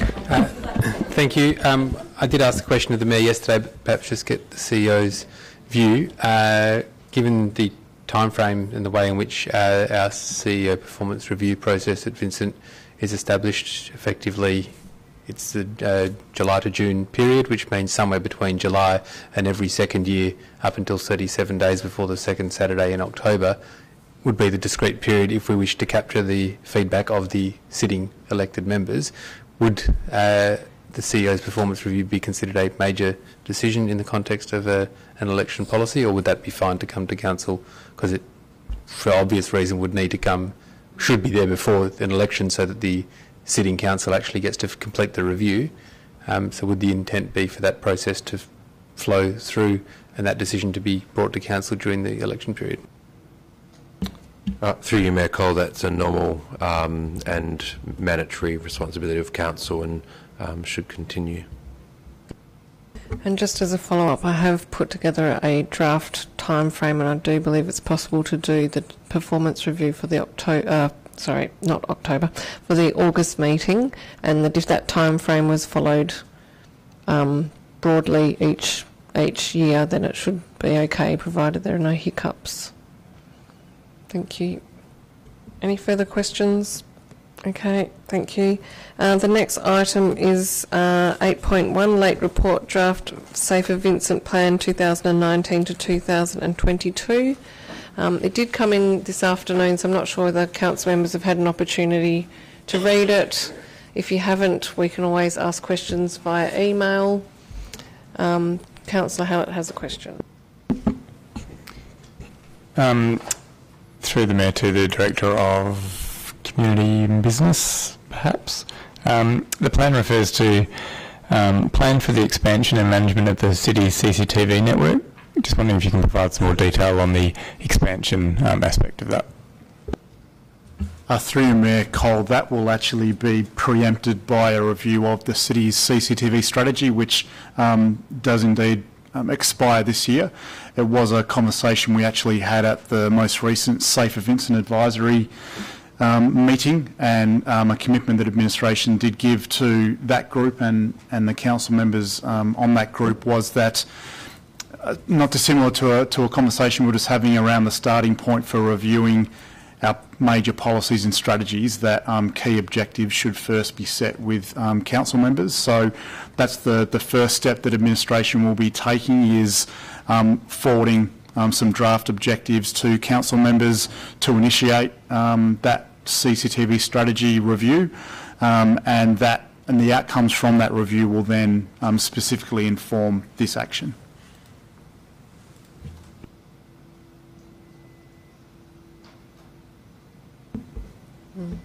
Any further questions? Um, Director, just checking, I think, I have, because I haven't read this properly yet, but is this going to be formatted before it goes out for consultation? Through Mayor Cole, uh, yes, it will be. I, I don't know whether it will be formatted in time for next Tuesday um, yet, but certainly the, the formatting is in full swing, so I expect it to be done before it's released for public comment. Thank you. No more questions at this stage. We'll all read it and email questions. Okay, um, we've dealt with draft sustainable environment strategy. Are there any questions on item 9.2 information bulletin? Councillor Loden. Thank you, Mayor. Uh, just on the development stats, um, I note that uh, we've basically hovered between 105 and 116 development approvals outstanding since about September last year. Um, um, where we're in discussions around the resourcing at the moment, but to my understanding, we're not increasing resourcing. So I just wanted to understand what we'll be doing differently to continue to bring down the development stats there. Through you, Mayor Cole, uh, I think we discussed this at the budget workshop. The the city has got to a point now where the changes that we need to make uh, largely relate to our systems um, and our processes. So the process review that um, the city's just gone through has highlighted a number of um, process improvements that we can make. Um, most of these involve um, improvements to our systems and so require resourcing from IT or external consultants um, or internal resourcing within the directorate to support those changes, admin, admin support. All those resources exist. Um, the issues come down partly to um, you know budgeting, upgrades to our IT software, etc., making changes to the system. So. Um, most of those changes are things that will happen over the next few years, and they're not going to happen as um, readily as um, the changes that the changes to personnel that have been made, the changes to the approach, um, and just generally uh, delivering better services for the community, um, which we've we've really exhausted, I think, over the last um, few years. So the the approach has certainly shifted now, and we've we've been workshopping in the last two weeks actually the delivery of those process improvements and how to stage them and implement them. So they're starting now, and they'll be implemented over the next few years. Um, it's not a and it's not a resourcing issue, as in the number of planners. It's a um, it's an organisation-wide um, issue that we're addressing through um, the projects on a page, services on a page, um, and the CBP. So I hope that answers the question. So does that mean we're waiting on the ICT strategy to roll out for these things to happen? Or, I mean, are we sort of going to be sitting about this sort of number for the next year or two? Or is there going to be stuff happening in between that'll help to address at least part of the issue? Yes, through you, Mayor Cole, we're not, the ICT strategy is a big part of it, um, but that's something that needs to come later because there's a number of things we can do and we are doing right now. So the online um, DA um, project is very close to being finalised and being implemented, so that will make a difference because we'll um, be able to receive applications without having to allocate resources to the front counter as, as much. So then that officer gets freed up a little bit more to deal with the development applications. Customers will have a better idea of where their application is at on the system. They can just go online and see whether advertising is commenced or um, and so can the community. They can see exactly where the development application is at. So that'll reduce the number of phone calls we get, the number of people coming in the front counter again, freeing up officer time. So that's something that's happening and very close to being completed right now. A number of the other changes that we're making and improvements to the systems that we're making um, are happening and will continue to happen um, over the next few years while before the ICT strategy comes in. So one of the other big ones is where it, over the next financial year we'll be focusing on training our administration team so that they um, have the skills to update the existing authority system um, to improve our our processes, our internal registers, so that the current situation is all of the registers and our processes were developed when authority was first implemented at the city, and none of them have really changed much um, or at all. Or we rely very heavily on um, Civica, the external consultants, to come in and make a change when we need it made. So the training that we're looking to provide with IT support next financial year will allow the, the six admin officers we have in the directorate to actually deliver improvements and um, short, yeah, put in assessment sheets, templates into the system so they're automatically generated and there's consistency across the board and the whole system and process runs a lot more smoothly. And that will avoid us having to wait a month for Civica to have the, the time to make that improvement and for, only for us to turn around and tell Civica actually you did it wrong, come back and finish the job for free because you haven't you haven't done it right. So um, that, that's that's another improvement we're making, and there's a number of others that the team's been workshopping this week to prioritise um, to work out what will be delivered when. So we're not waiting for the ITC strategy, but that is a fundamental part of it in the long run. Councillor, who's next? Councillor Topelberg. Um, it's a question to you, Madam Mayor. Is it a fair summary of the Tamala Park sales strategy to say that we're knocking 10 grand off the prices and instead of giving incentives to the builders, we're giving a $2,000 kickback to the builders' sales reps if they bring qualified uh, sales leads to Tamala Park? Is that pretty much the summary of the current sales strategy? The CEO has asked that you don't use the term kickback. Or Uh, you could rephrase it. Okay, well, I'll word it exactly as it's worded in the minutes as, as I read it, so I apologise. It's not, you're right, it is not a kickback, it is a sales incentive, I think was the terminology that was used. Um, so I apologise if I've, sales and marketing campaign, uh, but effectively, instead of builders receiving a discount for finishing early, the sales representatives of the builders who are not so that their sales representatives are being paid by Tamala Park. If they bring qualified leads to that result in a sale, they'll get a direct financial yes, benefit. Is that because correct? it's at the front end because sales have been as low as one lot a month. So they're actually trying to incentivise the sales reps to actually bring the sales to the door as opposed to giving incentives to builders to complete early because they can't actually even get the sales happening. It's really dismal. Okay, that's understood. Uh, and I understand. Uh, actually, I've got, I've got a further question that I'll wait until we're in confidential session to ask you.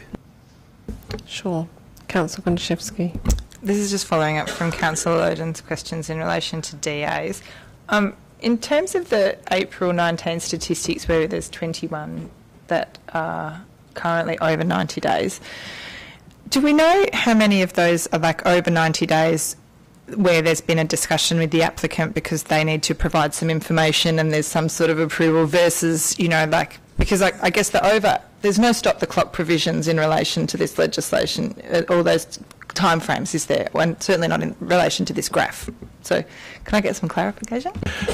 Mayor Cole, um, it's one of my big bugbears is that the reporting that we do doesn't actually represent um, the because the regulations and our scheme through the regulations actually provides a stop the clock function where an applicant agrees to a, a different time frame then the time frame the statutory time frame becomes the agreed time frame so almost everything that comes to council I can't think of anything um, that comes to council has a an agreed time frame so it's either within the 90 days or we've agreed a time frame with the applicant and the same goes for all of the applications that we determine on delega- delegated authority now. In the past that wasn't the case because um, we weren't processing applications efficiently and um, we wouldn't have dared ask an applicant to agree a time frame because it, it wasn't reasonable. But we have reasonable timeframes now. Applicants, it's applicant's choice whether an application comes to council and is determined in its current form, or they, um, we give them additional time and they agree to have a month to redo their plans before it comes to council. And the same thing goes for delegated authority decisions. The issue we have is back to the, the systems. Um, we have no ability to capture that in the current authority register. So we need to get Civica to fix that problem. And when we've asked Civica to fix that problem, they've been unable to, to make that change. Um, and so, unfortunately, we can't report on it because we would have to manually go through in an Excel spreadsheet um, for every application and, and do that work. So, at the moment, we're just reporting on um, the amount of time it's been in rather than whether it's in within the statutory time frame or not. Um, and that's something that we're working on. Um, and we're, we're hoping that the administration team, once they have adequate training next financial year, maybe halfway through next financial year, we'll be able to um, change our reporting so that we can report on statutory timeframes. Um, I'm just noting it's going past 10 o'clock now, so we still have to discuss the confidential legal advice. Are there any further questions? Okay. All right, so that concludes the items for this evening, but there has been a request from council members to discuss the confidential legal advice containing confidential attachments for items 7.7 and 7.8. So we will just have a um, confidential session to discuss that advice. So